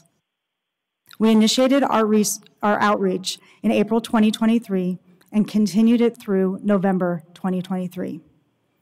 The call for committee members, launched in April, utilized the full range of district communication resources, including the district website, newsletters, emails, school marquees, and flyers. Collaborating with the DVSD communication and community engagement team played a vital role in reaching out to parents and community members. The committee selection was finalized in May, leading to eight scheduled meetings throughout June and concluding with a final meeting at the close of the public review in October. The public review period ran from July 10th to September 29th, culminating in tonight's governing board preview and action scheduled for November 28th. As mentioned, in April 2023, a widespread call for committee members resulted in a robust response from DVUSD stakeholders. The K-5 Math Adoption Committee was selected through a random process with the composition and selection methodology thoroughly documented and accessible on the K-5 Math Adoption webpage. We ensured representation from across K-5 grade levels and DVUSD regions. As illustrated on this slide, the K-5 Math Adoption Committee was comprised of 26 DVUSD employees, nine parents, and two community members. The K-5 Math Adoption Committee convened for a series of eight three-hour in-person meetings, culminating in a final Zoom meeting in October following the public review to assess feedback. There were nine committee meetings. The first four meetings were held during the week of June 5th through 8th. During this time, the committee reviewed the Arizona Mathematics Standards and current adopted resource and evaluated potential K-5 math resources using an in-depth rubric. The following week, June 12th through 15th, there were vendor presentations and the committee narrowed the focus to two resources for public review. The public review was open from July 10th through September 29th. On October 4th, the committee met one final time to review public comments and select a resource to recommend to the governing board. After conducting the public review, we received feedback from a total of 148 stakeholders, including 95 DVSD employees 48 parents, and five community members. It is worth noting that the feedback was well balanced across all grade levels, demonstrating a fairly even distribution of input. Many stakeholders represented multiple grade levels within their feedback. After thorough consideration, taking into account the valuable insights gathered from the public review and the committee, the K-5 Math Adoption Committee is delighted to present our unanimous recommendation, iReady Classroom Mathematics 2024, to be implemented in the 24-25 school year, with a planned adoption period spanning six years. This resource aligns perfectly with Deer Valley's educational goals and will best serve the mathematical needs of our students and educators. Here are some examples of public review feedback from our different stakeholders. During the public review, stakeholders consistently chose iReady Classroom Mathematics 2024, highlighting its sole focus on math, flexibility and depth of multiple day lessons, cohesion and engagement across digital and print versions, user friendliness for teachers, students, and parents, valuable actionable insights from assessment data, use of student data to create individualized learning plans, and a straightforward, comprehensive nature. In a standout comment from a veteran, top performing fifth grade teacher on the AASA state assessment, she enthusiastically exclaimed, I can't wait to teach my students using this curriculum. I love it. Our goal is to initiate the ordering process in December for licenses and materials. All materials will be procured and distributed in advance of the introductory professional development session for teachers, scheduled to take place, place from May to September 2024. This training will be inclusive for all K-5 math teachers, extending to teachers new to DVUSD next year. It is important to note that the cost of all professional development sessions is already integrated into the overall resource cost and will continue to be provided annually throughout the entire six-year contract. Our full implementation plan is set for the 24-25 school year. The iReady Classroom Mathematics resource aligns well with Arizona mathematics standards and will be an invaluable investment for our teachers and students. This comprehensive resource will directly benefit the learning of mathematics for over 13,000 K 5 students and empower over 700 dedicated math teachers in their instruction. The total cost of the K 5 math adoption, which includes shipping, stands at approximately $4,013,857. Importantly, this falls within the budget allocated for curricular adoptions in the 23 24 school year. With this investment, we not only meet our educational goals for K 5 mathematics, but also work within our fiscal year 24 budget. Again, um, two adoptions this meeting. Thank you for your thoughtful consideration of iReady Classroom Mathematics 2024 as the K 5 math adopted resource. We are excited about the possibilities this program offers, and the members of the K 5 Math Adoption Committee, as Kim mentioned, them are here. And I greatly appreciate your support in providing the recommended math resources for our students and teachers. Thank you.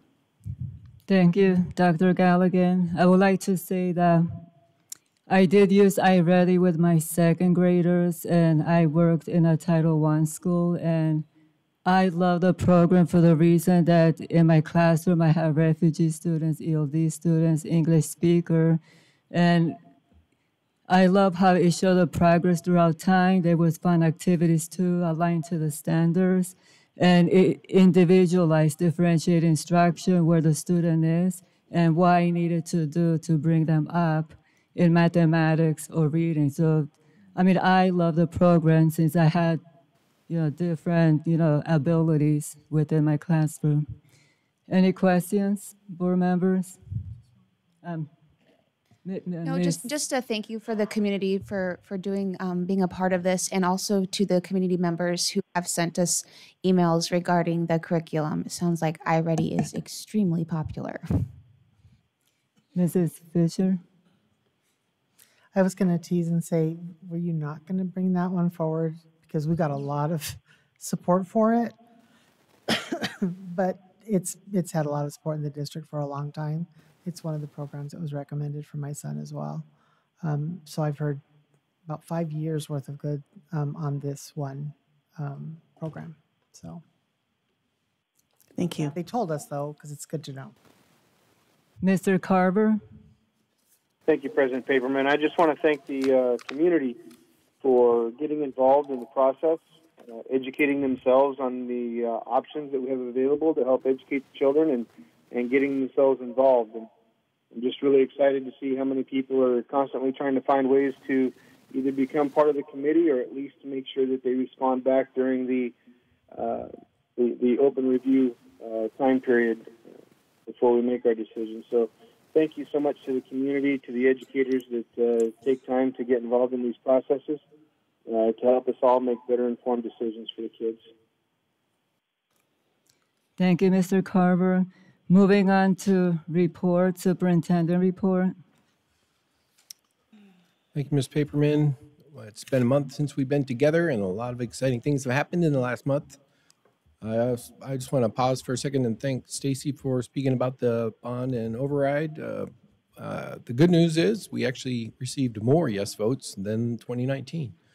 The bad news is that we have pretty much had a full court anti-public ed press on us, um, and so uh, there is uh, some uh, silver lining in there is that our we went a year early on purpose, and uh, so we can run the exact same a bond and override in 2024. We were trying to avoid the presidential uh, chaos that's going to come from that election, but uh, that's probably what I'll be recommending to the board is to uh, do that again.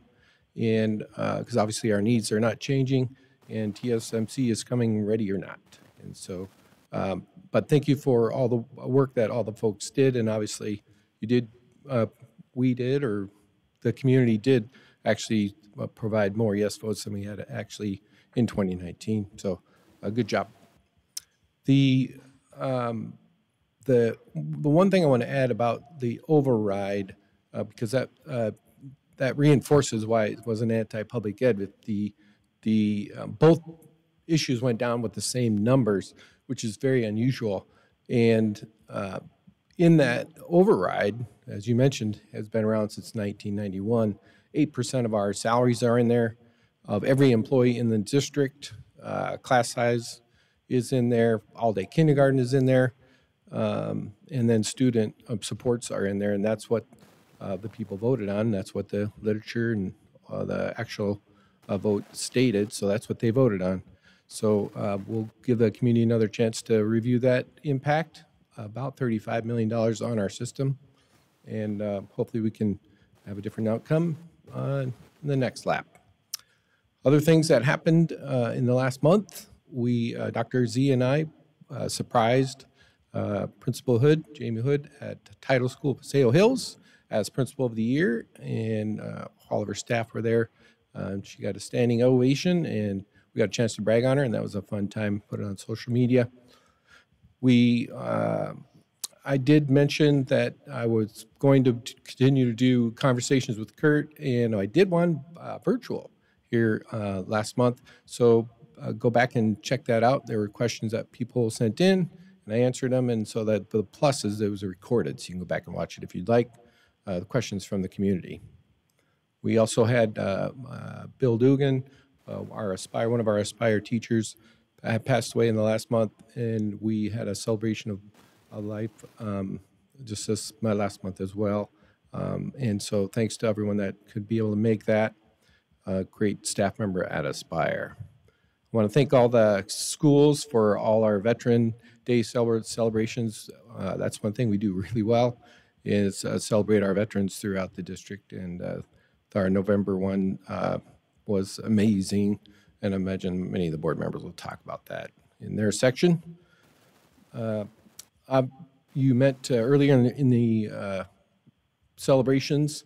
Uh, our Mountain Ridge uh, girls flag football team became the first state runner-ups in history, and they did a nice job on the story, but storybook run. But also this last weekend, we had O'Connor girls win the state championship in volleyball.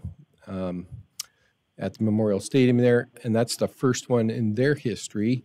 They were 34 and one and only lost one set through the whole tournament, uh, the state tournament. So it was great to to watch that success as well. So congratulations to O'Connor. As we also had uh, Mountain Ridge this last Saturday, uh, we won the state title in the AZ um, uh, marching band Division 5A, and so they'll be they're trying to be undefeated like they were last year, and they won the state ABODA title. That'll be this Saturday. So if you're interested in seeing that, it's at GCC. It goes runs all day. I believe um, Deer Valley is also in their run in their division. Um, so uh, come and check them out. They actually broke the record for the number of uh, points that were allowed, according to Ms. Moffett. It was amazing, and percussion was really good because her son's on percussion. They swept all the categories and broke the record for the number of points. So it would be awesome if they can win the state title again this Saturday. Come check it out. We also did really well on the state test. We had 26 A's. That's the most we ever had in our school history, our district history. Um, we actually had 27 because they didn't count Inspiration Mountain, and we are appealing uh, one of uh, one of the other ones as well. So we might have 28 by the time the, the paint dries. So thanks to the teams, uh, all the staff and principals and administrators that work hard on continuing to improve our academics. Thanks. Moving on to governing board report, uh, Mrs. Fisher, you requested to go first, right? Why not? Um, it has been a very interesting um, month. Um, I do want to thank uh, Boulder Creek for inviting all board members to come to the homecoming parade. It was uh, it was a fun experience, um, and uh, I was able to make a short visit to Barry Goldwater to take some olive oil to the um, restaurant, which hopefully I can do that again in the future. Um, now that I changed my schedule, hopefully I can be more on campus on Fridays, um, except for last Friday because my husband is getting old um, and I had to take him away. um, board responsibility needs to be taken seriously. Um, we have a real responsibility to this entire district, even when it's not easy or not positive. The board is not here to uh, be a marketing tool. We have a real responsibility to many individuals, a responsibility we cannot just walk away from when it gets hard to stand in the gap. The board needs to be committed to ensure the impact um, on our students and our teachers is the least um, when it comes to the upcoming budget. The bond and override failing um, are a difficulty, but they are not an impossibility. It's not the first time, um, at least not, I, I know it's not the first time that our staff has, but it's not the first time I've faced um, having to deal with a budget fall, a shortfall of that nature. Um, but it is the board's responsibility to make sure that that impact is as furthest away from our classroom as possible. Um, scores are very important uh, for many reasons, um, and I want to congratulate all of our schools who improved in their scores. However, um, as I said, unfortunately, uh, this is where the responsibility of the board member comes in, even when it's not considered positive. A deeper look into our data shows that 11 of our K 8 school scores have reduced in proficiency. 17 of our K 8 scores have reduced in growth. Overall, 10 of our K 8 schools had a reduction in their score. Only one of our high schools had a consistent increase across both the proficiency and the college and career readiness. Two improved in proficiency from the prior year. However, they are still below the last meaningful measurable year of 2019. Two had their proficiency decline.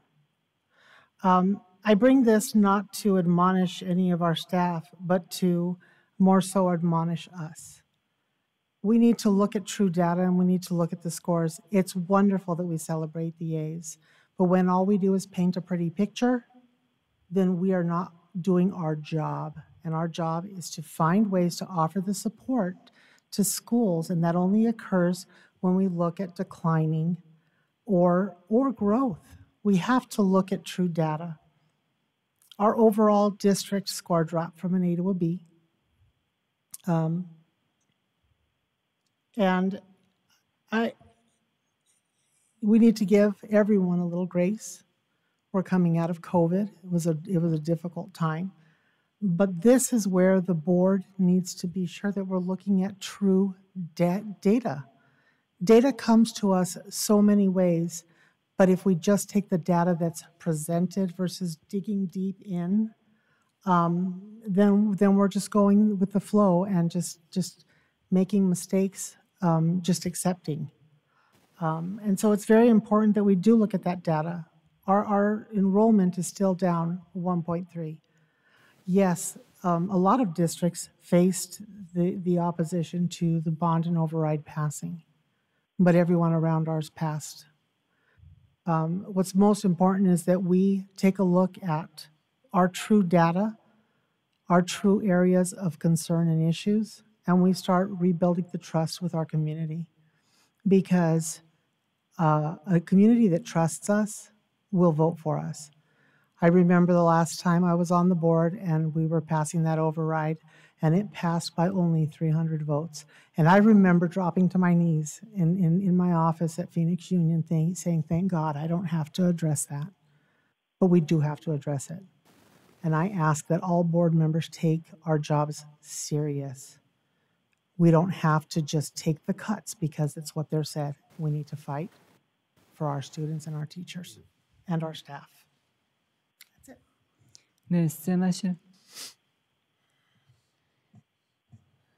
So yes, um, it's been a very busy month, uh, full of great celebrations and school visits and very important conversations uh, Inspiration Mountain celebrated their one year anniversary on October 20th by planting a time capsule and sharing great joy in their school through speeches, music, and a visit from the O'Connor Band, who was absolutely amazing. It really was a wonderful celebration um, to honor that one year.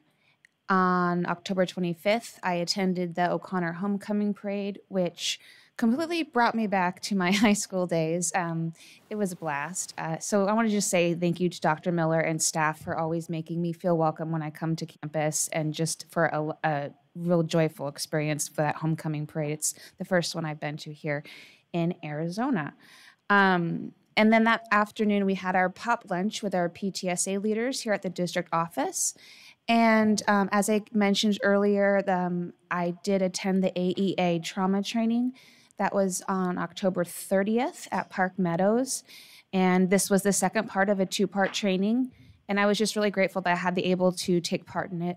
Um, several of our Title I teachers and staff were present to learn ways to help our students who come to school each day not able and or ready to learn because their home life is so challenging.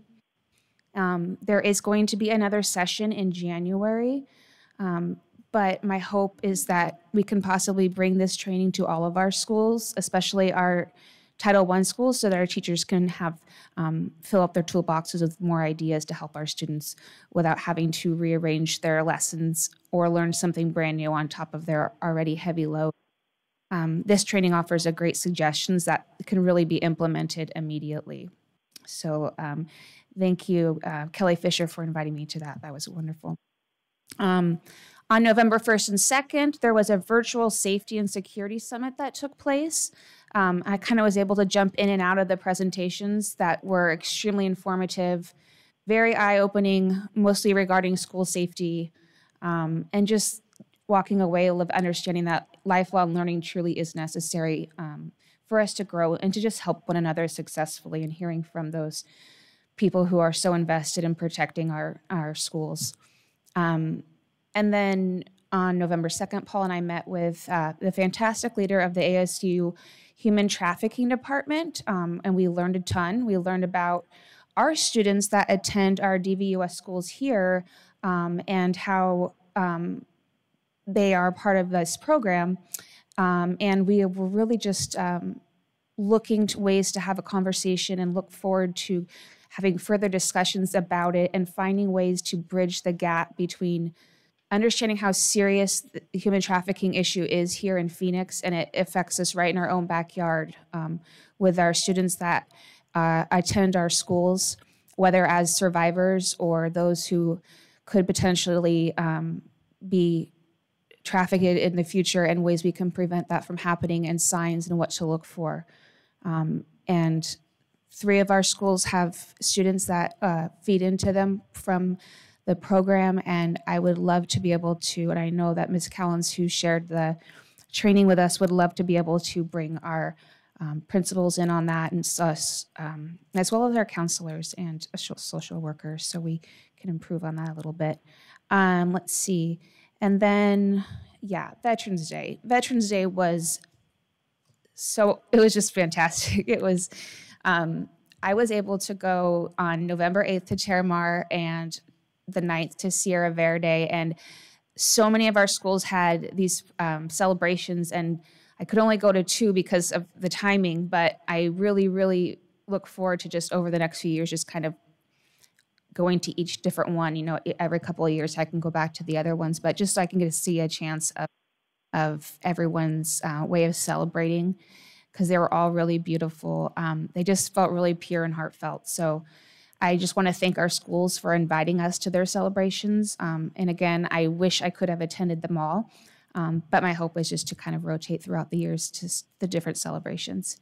And really quickly, um, I just wanted to say I, I love to see that our schools I would love to see our schools that currently don't offer a celebration to our community to find ways that they can. This might be working with another principal at a current school for ideas and suggestions. It was very clear that a lot of work goes into these celebrations and it takes the entire school to come together to make it happen. Not just a department, a club, or a grade level, but rather the entire school. And it's so important that we are reminded that our schools are the heart of our community and it's what unites us and holds us together. Um, and I just really briefly want to speak on, uh, speaking of community, I, I, really thank you for letting me speak. Um, I would like to express my sadness and my concerns regarding the failing of our bond and override. Um, as a parent of DVUSD and a board member, I was in complete shock to witness this fall through. I just want to say that we can do better and we must do better. And I want to thank the DVEA, for all of their hard work. It was a pleasure writing postcards together, and I want to apologize on behalf of our community. I feel like we let you down, and I feel like we let our students down. Thank you. Thank you. Mr. Carver? Thank you, President Paperman. As everybody's mentioned, uh, it's been a long month, uh, been uh, too long in between meetings, but I understand how it goes. I'll run down a little Reader's Digest version of what I've been up to. I've got 12 different interactions here concerning the district and myself uh, over the last couple of weeks. On uh, 10 11, I had a chance to visit with Mountain Shadows, uh, Miss Gilbert, uh, Park Meadows, uh, Miss Lanice, and Barry Goldwater High School, Dr. Stoltz. And uh, all three were pleasantly pleased at our level of staffing this year. It hasn't been this good in a long time, but all three also had concerns that really the only place that we're kind of lagging behind in the district, uh, and indeed in their campuses, was just uh, in special needs.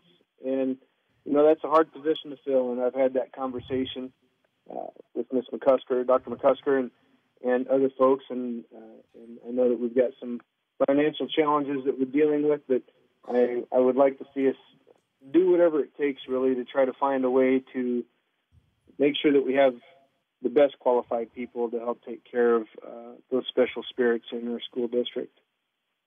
Um, the atmosphere on the campuses uh, is amazing. Everybody just seems to be so happy to be there and to be interacting with the children and doing their part uh, to have a positive, uh, to have positive input and a positive effect uh, on these uh, on these children's lives. So I always enjoy my time on the campuses. On the 14th, I was invited out to the district office to participate in the annual DVUSD chili cook-off. I usually shy away from those kind of things because I'm not really into hot foods, but uh, it was it was good. We've got some amazing chefs down there, and uh, I was glad to see so many so many participants. It was it was a good experience. If you guys ever get a chance, you should make sure that you're around the district office uh, that time of year so that you can uh, help polish off some of those pots of chili. On October 16th, uh, as the ASBA delegate for the DB for DVUSD, I participated in the Maricopa County meeting. Uh, we discussed uh, up and coming meetings, uh, the uh, conference that will be held in December, and uh, we elected our new county co-chair for Maricopa County. October 20th, the Deer Valley High School's homecoming parade, and as everybody here knows, I'm a graduate from Deer Valley High School, so I went to the parade and uh, then to the varsity football game later on that evening, and I was uh, tickled pink to see that we pulled off an amazing win, uh, 41 to two over the Copper Canyon Aztecs. It was a good football game. Um, October 25th, the Sandra Day O'Connor Homecoming Parade. I tell you what, these community parades that we're putting on uh, for homecoming is amazing. I know that when I was going to school in Deer School District, the idea of the homecoming parade was each class had a float and it drove around the track that surrounded the football field. So we've come a long way. I believe uh, Sandra Day had over 40 floats. So uh, again, another one of those things. If you have an opportunity and you live in the community, when it gets to be homecoming season in the month of October, there's almost nowhere that you can go without seeing a parade for Deer Valley, and, and uh, it's an amazing opportunity to see our kids out there celebrating their schools and having a good time. Again, on October 27th with Boulder Creek uh, Homecoming Parade. And then uh, November 1st, I had my first board buddy meeting with the DVEA. Uh, we use those meetings to just talk about concerns that we have in the school district, uh, some wins, maybe some challenges, and to work on developing that relationship just so that uh, we can better understand each other. That way we can have a better working relationship and try to accomplish that common goal that we all have of trying to be the best that we can be for our kids. So that was that was good to be able to start that process. And uh, thank you, President Fisher, with the DVEA for um, spearheading that and getting that taken care of and lined out for all of us. As Ms. Simacek mentioned, on November 2nd, I met with her over at the uh, Starfish community, which is inside our school district, uh, to learn more about the issue of human trafficking and how it's spreading into neighborhoods that people never would have thought that it would be existing into, uh, existing in. Sorry, and uh, we told her that we thought it would be very beneficial if they had an opportunity to try to educate the community, and in so doing, educate uh, some of the educators that will potentially come across children that have either been trafficked or might be currently victims of trafficking. Uh, the training that she offers, she offers at no charge. And she just wants to give awareness to the community so that they can know what to look for, so that we can try to help these people get out of that situation. Uh, November 3rd, the New River Fall Roundup. Uh, and attended the Leadership and Collaboration Conference on November 4th. I was honored to be a panelist to share my experiences in, as a newly elected board member, so I appreciate that. November 8th, I got to attend the Veterans Day celebration at Terramar, and on the 9th, the Veterans celebration at Sierra Verde. In closing, I'd just like to say regarding the Veterans celebrations, there was a lot of concern we had not too long ago regarding Constitution Week from some members in the community and whether or not Deer Valley participated and whether or not we were a patriotic community. And I would tell you that if you ever have a concern about that, just broaden your horizons, open your eyes, participate, go visit these uh, schools when these types of holidays occur, and you will see that uh, they may not necessarily rise to your expectations on one specific occasion, but there are many times when uh, they are by far surpassing anybody's expectations. And these Veterans Day celebrations are one of those. Thank you, President Paperman. Appreciate it. Thank you, Mr. Carver. So I would like to say that I attended the Deer Valley Drama Fall production for Alice in Wonderland. It was amazing to watch the students act. I was very impressed. Uh, they were very excited and told me that they spent three months practicing. Uh, also, uh, they were telling me about their costumes, how they got it, and and the funding that they need to get those costumes. And Deer Valley is a Title One school. Uh, if there's any parents that is willing to support the drama teacher, uh, that would be great. Um, I also attended uh, the football. It was fantastic to see them play. I almost did not go in. Uh, apparently, they don't take cash. So luckily, I was able to find my credit card. Uh, they have a barcode. Uh, oh, I could have used my badge. See, look at that. I could have gone in for free. Yes. yeah. So, so yeah. So luckily, I found my credit card. I was able to go in, and yeah, yeah. So then, uh, I did ask questions when I did go to the drama. Uh, there, they did do a barcode, and also they take. Uh, like how is the money being documented? Uh, so I'll email Dr. Finch uh, on this. Uh, I know I heard of vendor like Ludus that they'll take all if it's drama, if it's sports, like everything, and everything is like separated. Uh, you know who who pay for what, and but I will email Dr. Finch to to find out on that. Yeah. I also would like to say um, I did have a lot of community members and teachers. Uh, they were upset with uh, with the override. More concern was uh, with what's going to happen to the classroom, where the budget cuts are going to, you know, where they're going to be taking the budget cuts. Are we going to continue having full day kindergarten or half day kindergarten? And you know, I remember when my kids were very young, I lived in Gilbert, and I had to pay for the other half of the kindergarten for twins, and that was expensive.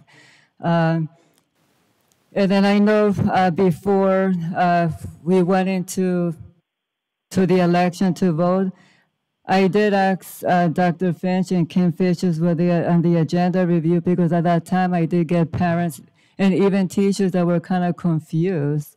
You know, like, well, you know, you know, if it's taxes or is the money only going to go to the district? And, and I did ask Dr. Finch, uh, would it, you know, can we have you know, ban an override to educate the public, the staff, you know, for them to better understand. But I believe that Dr. Finch and Kim Fisher said that that would be an issue uh, for the reason that, you know, uh, because this is voting, you know, so we don't want to uh, talk about voting, you know, how you're going to vote, you know, uh, to the public. But I, w- it's against, yeah, that's what Ms. Fish, it's against the law. But if it wasn't against the law, I would have to to discuss it, you know, because there was a lot of misunderstanding uh, with both parents and teachers. Uh, I do want to bring up uh, the importance of funding in, in our education. Uh, if we don't have a strong education, uh, I truly believe that we're not going to have a future in this country. So we, we need, you know, funding, you know, resources for our kids. We need, you know, to get them prepared. Like look at the world around us. You know, we, you know, we have challenges in the world. You know, and I love, you know, my freedom of speech.